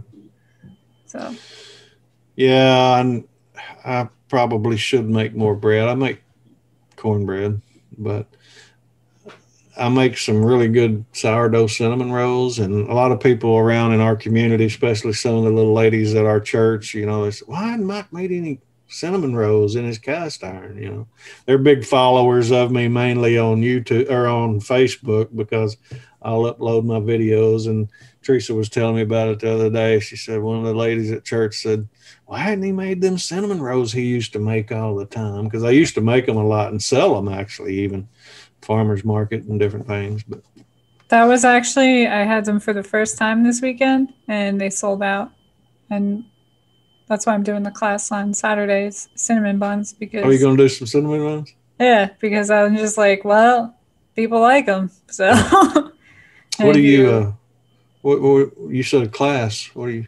Yeah, I'm going to do a virtual class. And then the cinnamon buns that I make in the class, the next morning is the uh, farmer's market. So one of the problems I'm having is like, I can't just have all these cinnamon buns here and gain like 15 pounds just eating cinnamon buns all day. Yeah, yeah, it's tempting. So I figured the market would be a good place to, to like sell the stuff that I make in the videos because you know, but right now I feel like I don't like hopefully I get monetized soon and um, I can use that money to produce more content. But right now I'm relying on like the things that I don't have to do too much research on because I just know them so well. Yeah. You know? So um but all those things are very fattening. Yeah. So yeah, like I want to do coffee cake, I want to do cobbler because they're related, and I want to show people how things are related and stuff like that. So like coffee cake, the streusel topping is the same streusel crumb that you use in cobbler. So it's like you can do two different things with this type thing. So, but then I'm not, I can't just sit around eating cobbler and coffee cake all day. so yeah, really. Yeah, that's cool. That's cool. Yeah, that ought to give you a good crust, no doubt. Uh, I I don't know. I may. I, I've got my starter in the refrigerator. I may have to. What's your uh, what kind of cinnamon buns frosting do you use? Buttercream. Buttercream. Yeah. Interesting. I it, it's a pet peeve of mine when people use just powdered sugar and water. Or I don't do that. Ooh, drives me nuts. So cheap. Yeah. I use cream cheese frosting on mine. Yeah. Well, now we we did initially, but uh, our farmers market uh, they wouldn't allow us to have anything that needed to be cooled. So, being cream cheese, it would have to be at a certain temperature, so they wouldn't allow it. So we went to a buttercream, and I mean, we would sell out. I would sell out before nine o'clock most mornings, and some of the vendors would just be setting up and they're over there looking like, well, what's he doing down there? You know, but it was my cinnamon rolls and they, were, they they'd sell out fast. How many uh that's weird because buttercream would also need to be held at a certain temperature. They allowed it. So we did it. cream cheese is a because you have to melt the cream cheese on the cinnamon thing. It's not like that's kind of strange. Whatever, you know, temperature danger zone and you know, pass up. I got I got to re up my license just so I can uh, bother people. So you're doing a, uh virtual show like on uh, Zoom or you, how are you doing that? Yeah, this is going to be my first one, so I'm sure Oh, there's going to be um, some bumps. But basically, I'm using Shopify to host my website and do all like the point of sale stuff.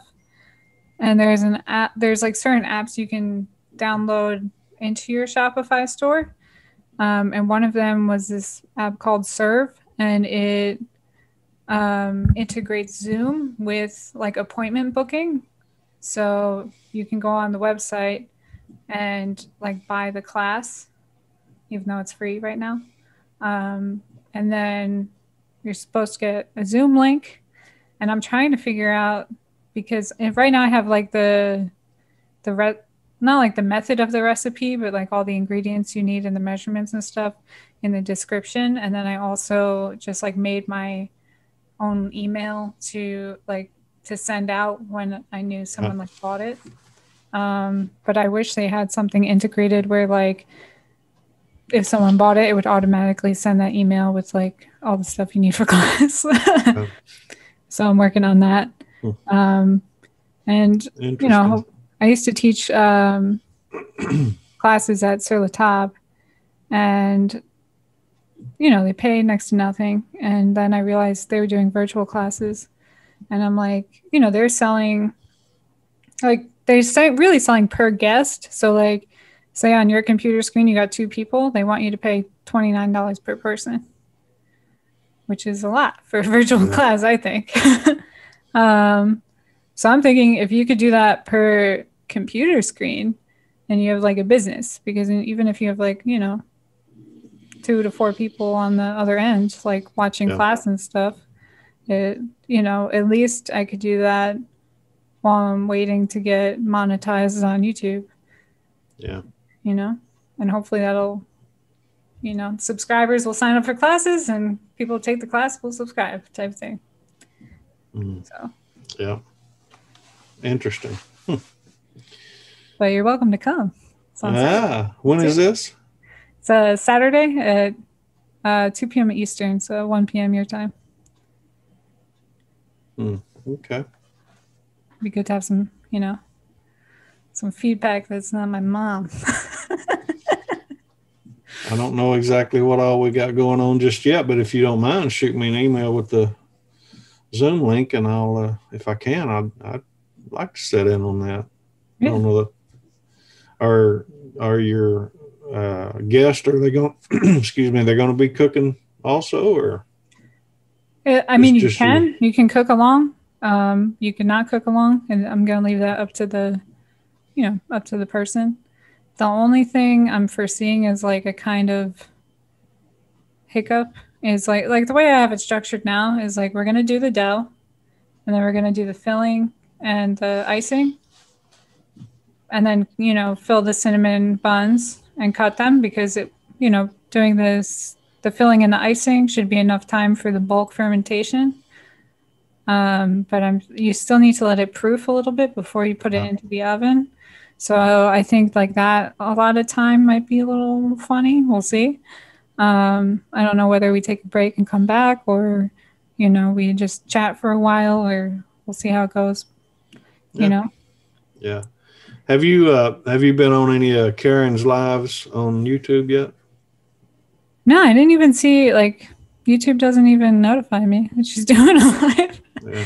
I get your notifications uh, every time I'm in a car driving somewhere. Yeah. She's doing one I think tomorrow.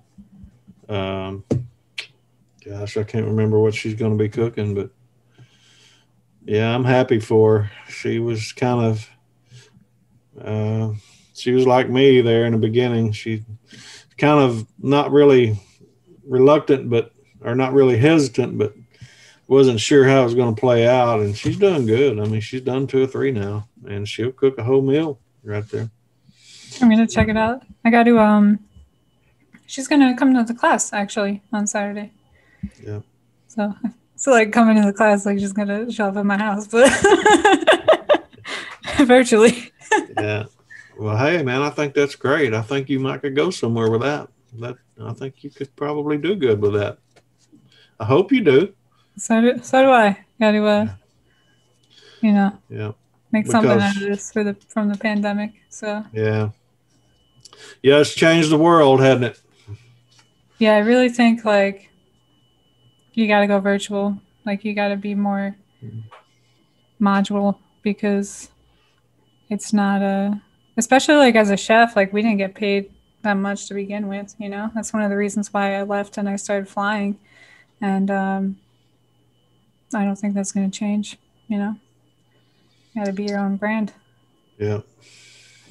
And they can just shut you down whenever. Like you know most people working in kitchens don't have health insurance. They don't have it. They're living paycheck to paycheck and they're working two or three jobs. They're not yeah. So Yeah. we'll see. Yeah, bad deal. I know a lot of people. My uh, stepson uh, his wife just recently went to uh, Disney World, and they were talking about all the things that was, uh, you know, they're not doing. They're, it's it's shut down. I mean, like they don't have the fireworks at, you know, the end of the evening like they used to. They don't have the, uh, the area where you could eat you know different kinds of food all around the world or whatever. I forget what it's called, but anyway, I don't. Epcot. Yeah. Yeah, My best friend works there actually. Um, but a lot of she was actually um, in because it's the workers are like are unionized. Um, so she was like the last, the first person on the the list of people that got like re what do they call them? Re, not replaced, displaced. So it sounded like they were orphans or something. So basically, instead of, you know, like firing them for a while, like she had to go from working in like one of the hotels or whatever, having like a management level job to Mm. like stocking shelves, you know, just Yeah, so she wouldn't be fired. Um, and then everyone like above her like got to stay in their position. Um, but they're lucky, you know, they're lucky you have that, or else everyone would just be gone. So Yeah. it's crazy. it's like, oh, unions are important because uh, Yeah, when you're replaceable, like someone has to do the work. But if they can replace you with a machine or someone that can do it for a lower wage, they will. You know, they're not going to, you know, give you money. But true. nice. yeah, Yeah. Wow, and then of course it affected the airline, so you were affected that way, right? Yeah, my uh, airline, it's uh, the whole long haul operation is completely shut down. So, um, everyone, a few of my friends just got hired at Spirit, um, which is good, but I'm trying to because as soon as you get hired with an airline, they can base you wherever they want to base you. Um, and I already moved once. Like my boyfriend has to get his uh, airplane mechanic license, and then like I'll think about like flying again. But hopefully this stuff takes off, and I'll just get to travel because I did it because I wanted to see the world, and right. I got to do some amazing things. Um, you know, I got to see places I've never even thought about going to. You know, so uh, like I wouldn't trade that experience for anything, but I think maybe, you know, hopefully this works out and it's, you know, kind of time to move on and hopefully I'll get to travel for doing this instead of yeah. traveling because you got to take, you know, shuttle people back and forth. So yeah. We'll see. Cool. Go see chefs and stuff. Go see. Yeah. go see the Green Akers over there. You never know. I mean, that's that's crazy because I was just I was on another live last night with some guys, and some of them, um, well, not some of them that were on there last night, but they were talking about it. And then I watched a video this morning uh, of some guys that was actually at a an event down in Texas recently, and so. I mean, every one of them had YouTube channels, you know, so it can happen. You know, I want to do that. And uh, Teresa and I've talked a little bit about it. It'd be so cool, you know, to travel around and meet some of these people in person that we've interacted with.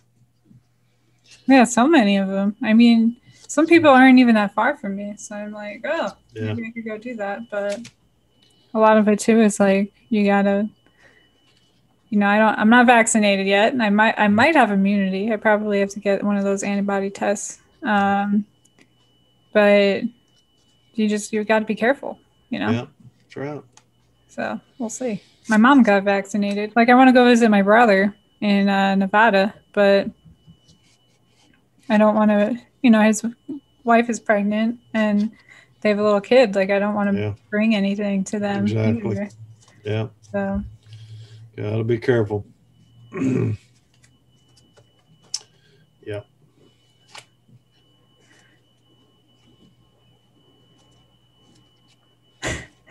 That's that took like a depressing turn. yeah, that's true. Uh, yeah. yeah, I think you could do good on that if you uh, if you play your cards right on it all. Because once you do uh, get monetized on YouTube, you know you can have people uh, subscribe and uh, join your group basically, you know, as a subscription type deal and offer maybe some classes to people that sign up. That's another way of of you know monetizing, not just off of Google AdSense. Yeah, you got to have different uh, revenue streams. Yeah, that's right. Yeah, and I'd like I already wrote I wrote a cookbook, but I would like to write another cookbook, but I don't really want to do another book until um, I know people will buy it. You know I mean? Like people, like I have a distribution channel for the marketing for it. Um, my last one was not, was kind of like dead in the water because I got banned on Facebook and Instagram for uh, marketing because it was about cooking with marijuana. But when you're the little guy, you know, like they don't notice your appeal because that kind of thing, like number one, it's a book. You're not selling drugs. Number two, you see all these like advertisements of people that are actually selling marijuana and they don't get banned. So, yeah. but they have money behind them, and that's the big yeah. difference. So, that's um. Yeah. Yeah, you know, know. So the next one probably won't be about marijuana either, so that might be a little bit easier yeah.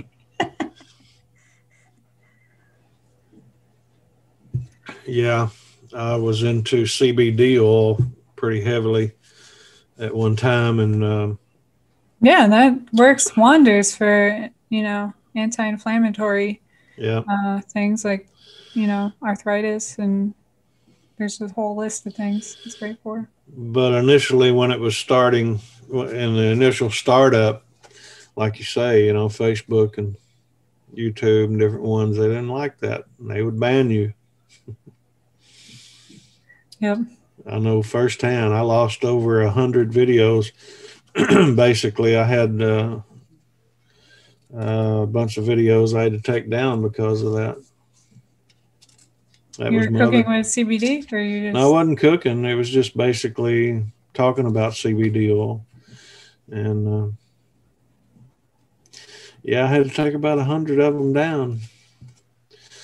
Uh, I've I've been monetized and demonetized. uh, actually, no, that's not true. I, I've been.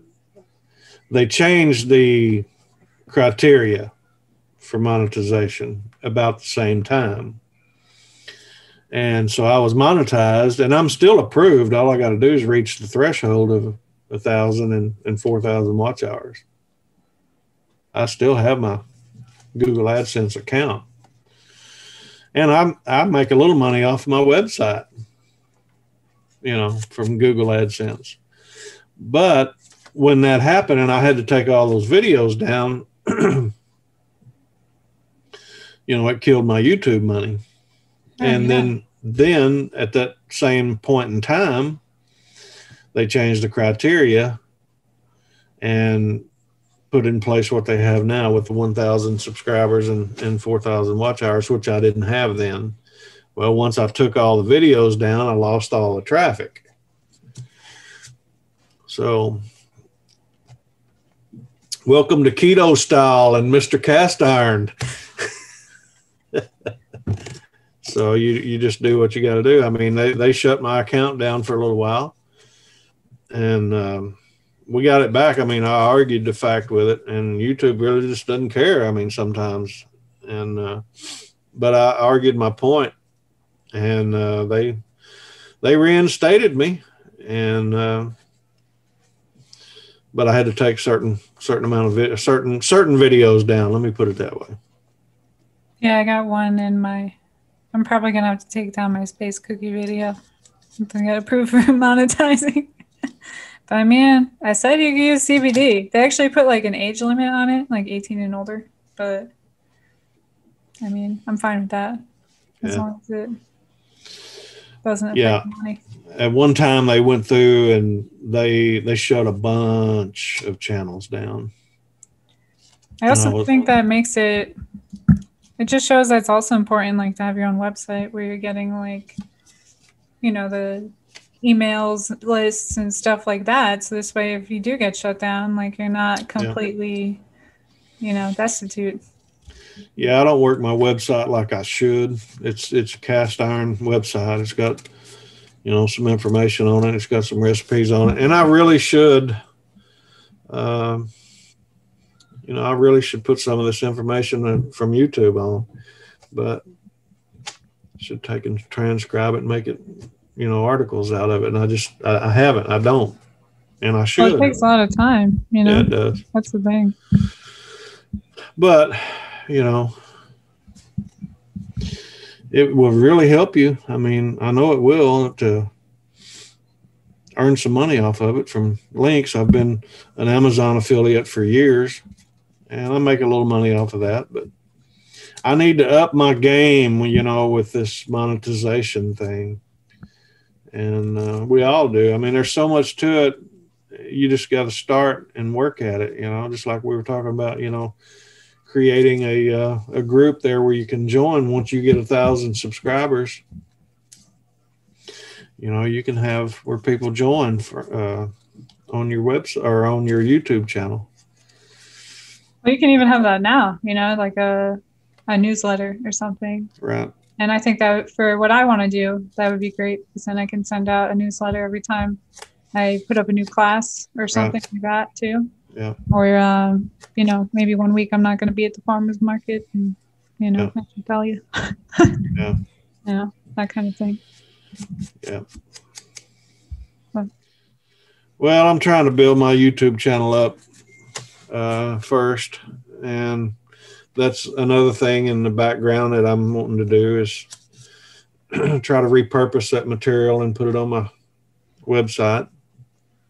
And uh, but I'm just trying to get you know you can get you can get too diverse, and yeah. You spread spread too thin. That's Yeah. and, and then you're not very good at any of it. You know, I mean, you, you need to get real good at something, and that's what I'm wanting to do is really fine tune my my channel and get in the direction I want to go because it's not just reaching. And we were talking about this on one interview I had uh, Sunday night. You know, it's not.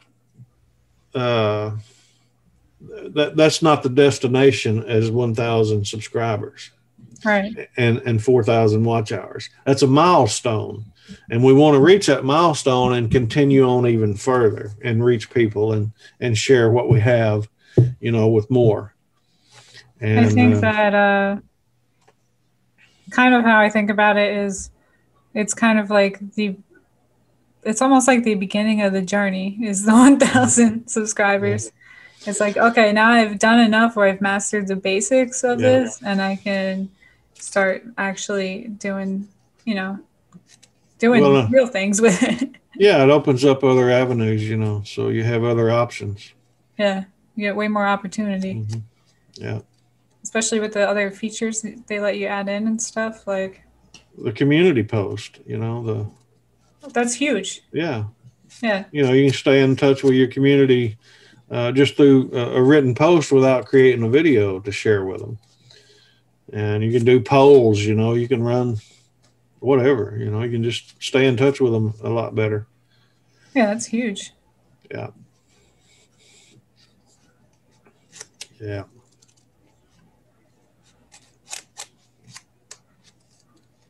Are those all the stickers from the uh the yeah i've got just got started. I don't have uh i don't got a couple more i need to put on there but yeah i've just started trying to do a little sticker swapping with people that you know barbecue community and cooking community they have stickers.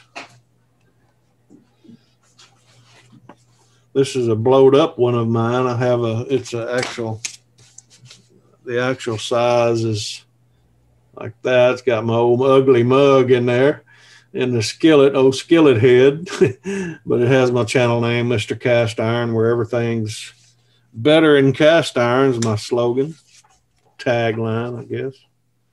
Teresa blew this up where we could show it on screen, you know.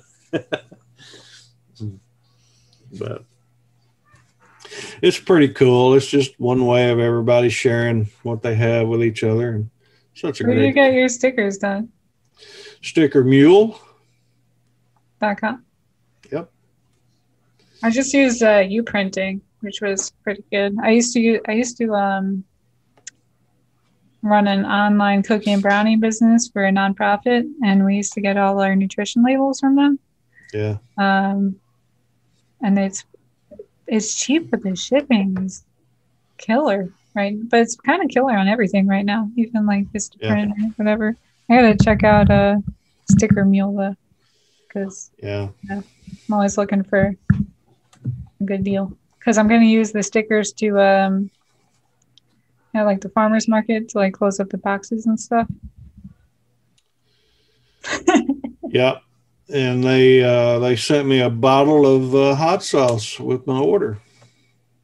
Ah, that's interesting. Yeah. It was cool. How was the hot sauce? It was pretty good. Did you put it in the chili? No, but I have sprinkled it on some eggs. Yeah, Seems like over easy would be a little bit difficult in a cast iron skillet. No, no, maybe. No, you just gotta make sure you got all that grease, that bacon grease right there. gotta Pretty have it. gotta have it. Where do you put your eggs on? Just toast or something else? Uh, no, well, yeah, I, I like toast with with my over easy eggs. Now I cook a lot of scrambled eggs too, and uh, take That helps clean it though, right? Huh? That helps clean it. The eggs always soak up everything on the pan. Yeah, I cook a lot on my uh, grill griddle. I like You know that. what I saw that was really interesting for cleaning um, griddles was uh, radishes. Yeah, That was cool. It really gets it soaks everything up. I mean, they're mostly water. They're like eighty percent water. Yeah. Yeah, you can take potatoes too and cut them in half and do something like that. But yeah, I like I like making breakfast. I like uh, tortillas. I like breakfast burritos a lot. But then again, you're back to white cheese? flour with a sprinkle cheese. Absolutely, you got to have sprinkle cheese in there in your salsa. Do you make your own salsas? I used to make some, uh, but then again, I'm back to not raising my own tomatoes and peppers and stuff, so I don't.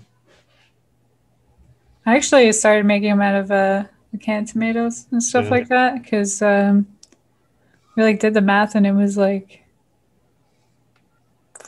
like a quarter of the price, maybe yeah. less than a quarter, and you got like a gallon.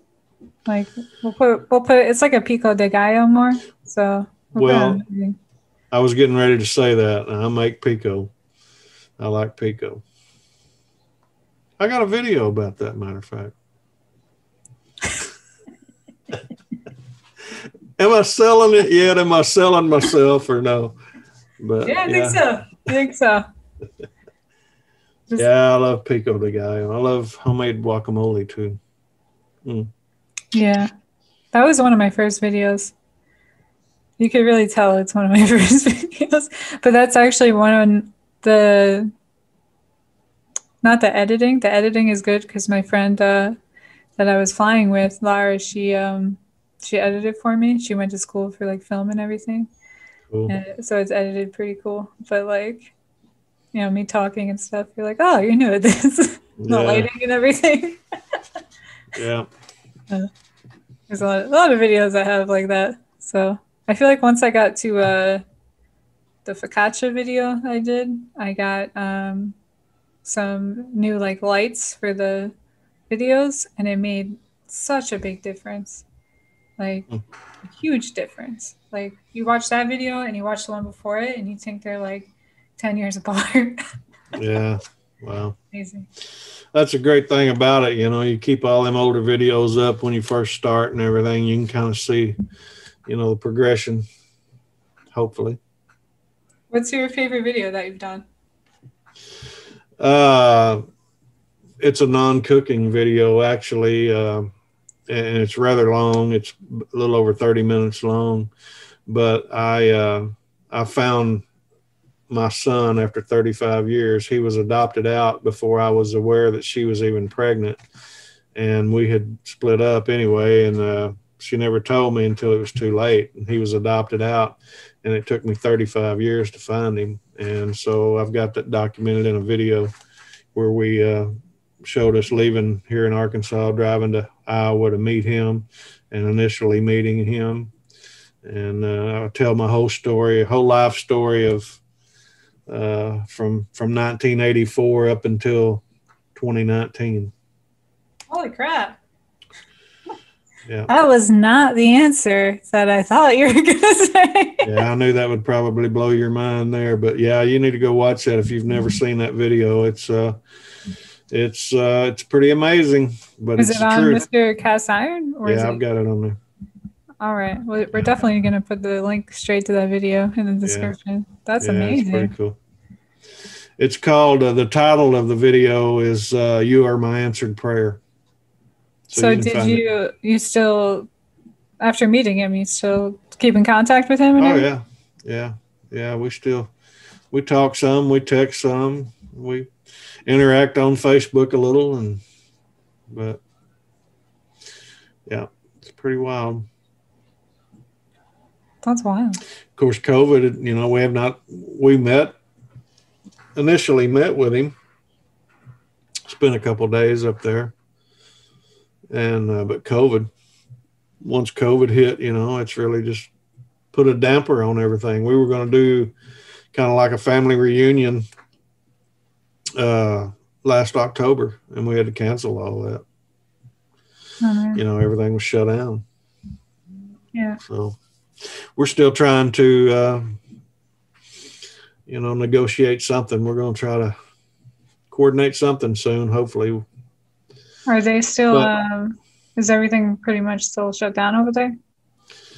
Uh, not quite like it was back then, but yeah, there's still a lot of restrictions.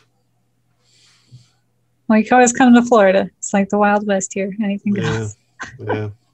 Probably They're- wilder than the West, actually. They're trying to open it up a little bit more. I think our governor's trying to get it to where you're not, uh, not necessarily having to wear as, the mask as much. Or I mean, it's really your choice, but right now it's pretty much mandatory when you go in most stores. I mean, I think that's important because if, you know, you got to stop the spread. But, you know, I think also once people start getting vaccinated, people are going to be like, oh, well, I was vaccinated and they weren't really vaccinated. They just don't want to wear a mask and then they get everybody sick. And it's just kind of like, you know, it's not. Like I have a mask tan. I'm rocking my mask tan right now. I got a line Yeah. right here from the farmers market, and even though you know, I already, ha- I probably already had it. I probably have immunity, but I'm gonna wear it anyway because Mm. It's, it has nothing to do with, you know, it's your duty to your fellow American. It's not, it, you know, just the small chance that you could affect someone else's life, and you know, your wife has blood clots in her lungs. Like, yeah, yeah, it's serious. I mean, mask, some could people- be- could have avoided it. You know. right. It, it's a serious thing, and some people they it doesn't affect very much. I've had friends that you know, so it was just like a sinus issue. Yeah, my boyfriend was sick for like a day. Yeah. And he was fine. and then we've had people that's actually passed away from it. You know, Exactly. So that's who you're wearing the That- mask for. that we Yeah. know personally. I mean, this is not just someone we know of someone of someone we know. No, excuse me. We we know of at least three people that personally that's passed away from it, from the effects of it. And of course, when she uh, wasn't ever getting over the cough and everything, and uh, went back to the doctor, that was his fear. You know, he said, "Tracy, you need to go have a CT uh, a CAT scan right now on this check, and sure enough, she, she had blood clots in her lungs, and that was a lot of the problem causing for the coughing. So they put her immediately on blood thinners, and you know she's she's better, but she's not out of the woods yet. I mean, she's she's she's got a ways to go yet. Yeah, and that, it's scary too because you don't know. Nobody really knows if there's long-term effects either with that. Yeah. You know. Like, well, I, I mean, in my own experience, I, I still battle fatigue. Fatigue was one of the uh, symptoms. Uh, I don't have the headaches or anything. And I, I, re- I regained my taste and smell. I lost that. Uh, it's not good for a cooking channel. no, but the the fatigue. I mean, I still I still have issues with that. I just don't have the energy I used to. And a lot of people that uh, you know, a lot of people that I've talked to that's had it that had you know many of the symptoms and severe. A lot of them say the same thing. They're still struggling with the fatigue.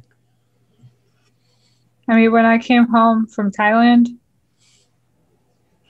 the thing about being a flight attendant is like you're always fatigued because the time zone changes are just so hard on your body, um, especially when you do long haul because you're going like, you know, five to you know nine hours in time zone differences all the time.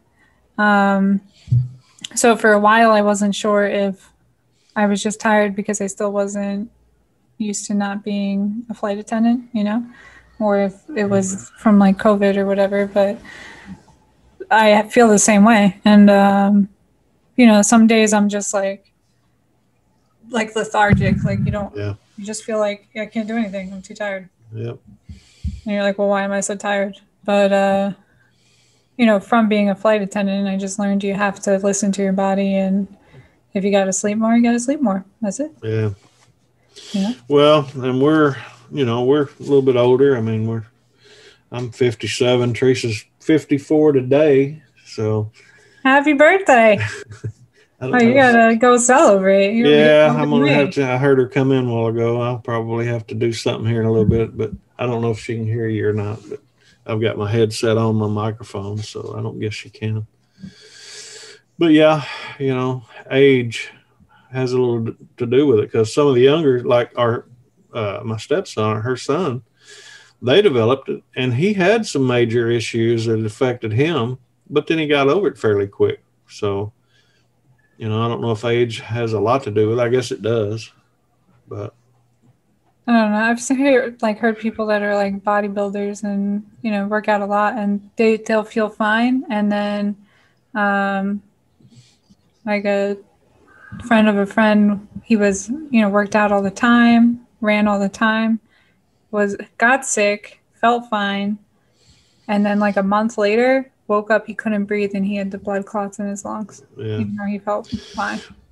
Yeah, that's. Uh, I know men do get it too, but he told us the doctor told us that uh, primarily it's women that get to, that develop the blood clots, but some men do. You well, know, women in general are more at risk for blood clots anyway, um, just because you know the the things we have to do, like yeah. bear children and all that yeah. other stuff. Yeah. So they even my, my mom's actually a women's health professional, so that's definitely one of the things she talks about a lot. Yeah. You know, especially when, when you're on a plane and stuff, you got to think about like deep vein thrombosis and stuff like that in your legs. Mm-hmm. So, yeah. yeah. And being on wow. birth control and smoking and all that other stuff increases your risk as a woman. Yeah. Who knows? You get a. I keep telling my mom she's got to do a, uh, like a show about like nursing on YouTube, like women's health and that kind of thing. But maybe uh, if I mention it enough on this channel, she'll start one. yeah, it would probably be pretty popular. Yeah, I keep telling her that. Yeah, yeah. Especially she has a thick Jersey accent. So it's all right. Very, it's okay. very entertaining. yeah. Well, listen to me. I'm just an old country boy, you know. I mean, I've got I know I have an accent. So, so they say. I think everybody else has an accent myself, but you know.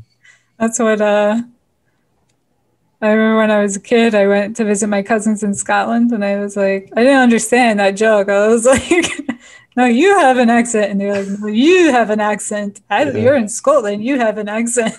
and I was yeah. like, no, you have an accent. but yeah, you definitely have an accent. Is it? Can you tell the southern accents apart pretty well? Uh, some, yeah. Louisiana is really a, a strong draw. Texas people, Arkansas people, Southern Missouri, they're all about the same. What about yeah. Alabama? Uh, that's a little different slang, yeah. They've yeah. got their own twang to it. You know, Georgia people do too. Huh. Yeah. North Carolina, they've got a different twang, but. Oh, my friend is from North Carolina. I talk to him like every day, and uh, he t- sounds totally different than you, actually. that's, yeah. that's really interesting. West Virginia, that's different. But it's all good. That's a great thing about America, you know.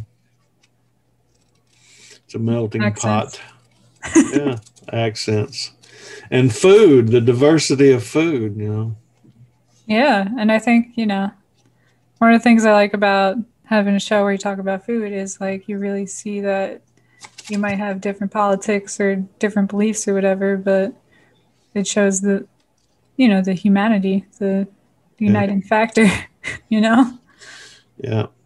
That's one thing I don't, uh, I don't allow, I don't really touch uh, politics and religion on my interviews. Uh, now, if somebody I'll go, has, I'll go into politics a little bit because I think food is, it's food politics usually. Right. You know? now, yeah. If it's specific to something, just like the other night, I had a gentleman had a strong faith. I got a strong faith, you know, but I, I'm I'm trying to interview cooks and things like that. But he he he has a ministry in his uh, cooking channel, and so we we talked about it. But huh. I try to steer away from politics. Well, religion is an interesting one that he's got a ministry for his cooking channel. That's yeah. actually a lot, probably a lot of people would uh, do well with that because well, there's so many food restrictions in religion. Yeah Yeah, him and his wife do a like a motivational type video every Monday, but they do a lot of cooking, and then he actually has a food truck, and uh, so it's interesting. Sermons in service, huh? There you go. That's it. Hey, I like that. That's good. You can, you can have that one. I'm not I'll religious. Pa- I'm not going to use it. i may I may pass that on to Brandon. You know, All right. Service and uh, sermons and service, huh? Yeah. Good one. Yeah. Well, that's good. I gotta get going, but uh, and you should have to get going. You got a birthday celebration over there. Yeah. No telling what we'll get into here in a little bit. Not a lot since we're in our mid to upper fifties. Birthday cake recipe. I don't know. She's uh, I don't know what we're going to do just yet. We'll have to see. But anyway, we certainly appreciate you having us on though, and uh, enjoyed it. And I look forward to hopefully interviewing you someday. I'll shoot you uh, some some dates, maybe we can nail something down. What do you think about that? That'd be awesome. be nice to travel travel on over to another channel. there you go. Yeah. yeah. Be the be the interviewee for, yeah. for once. That'd be great. Yeah. Be on the other side of the mic, huh? Yeah. Love it. Well, good deal. All right.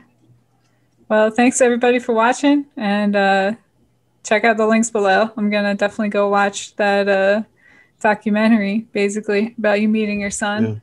Yeah. Yeah. And I'll probably look at a couple more cast iron videos because yeah. I'm learning a lot from your channel. Um, I appreciate that. It's a really great channel.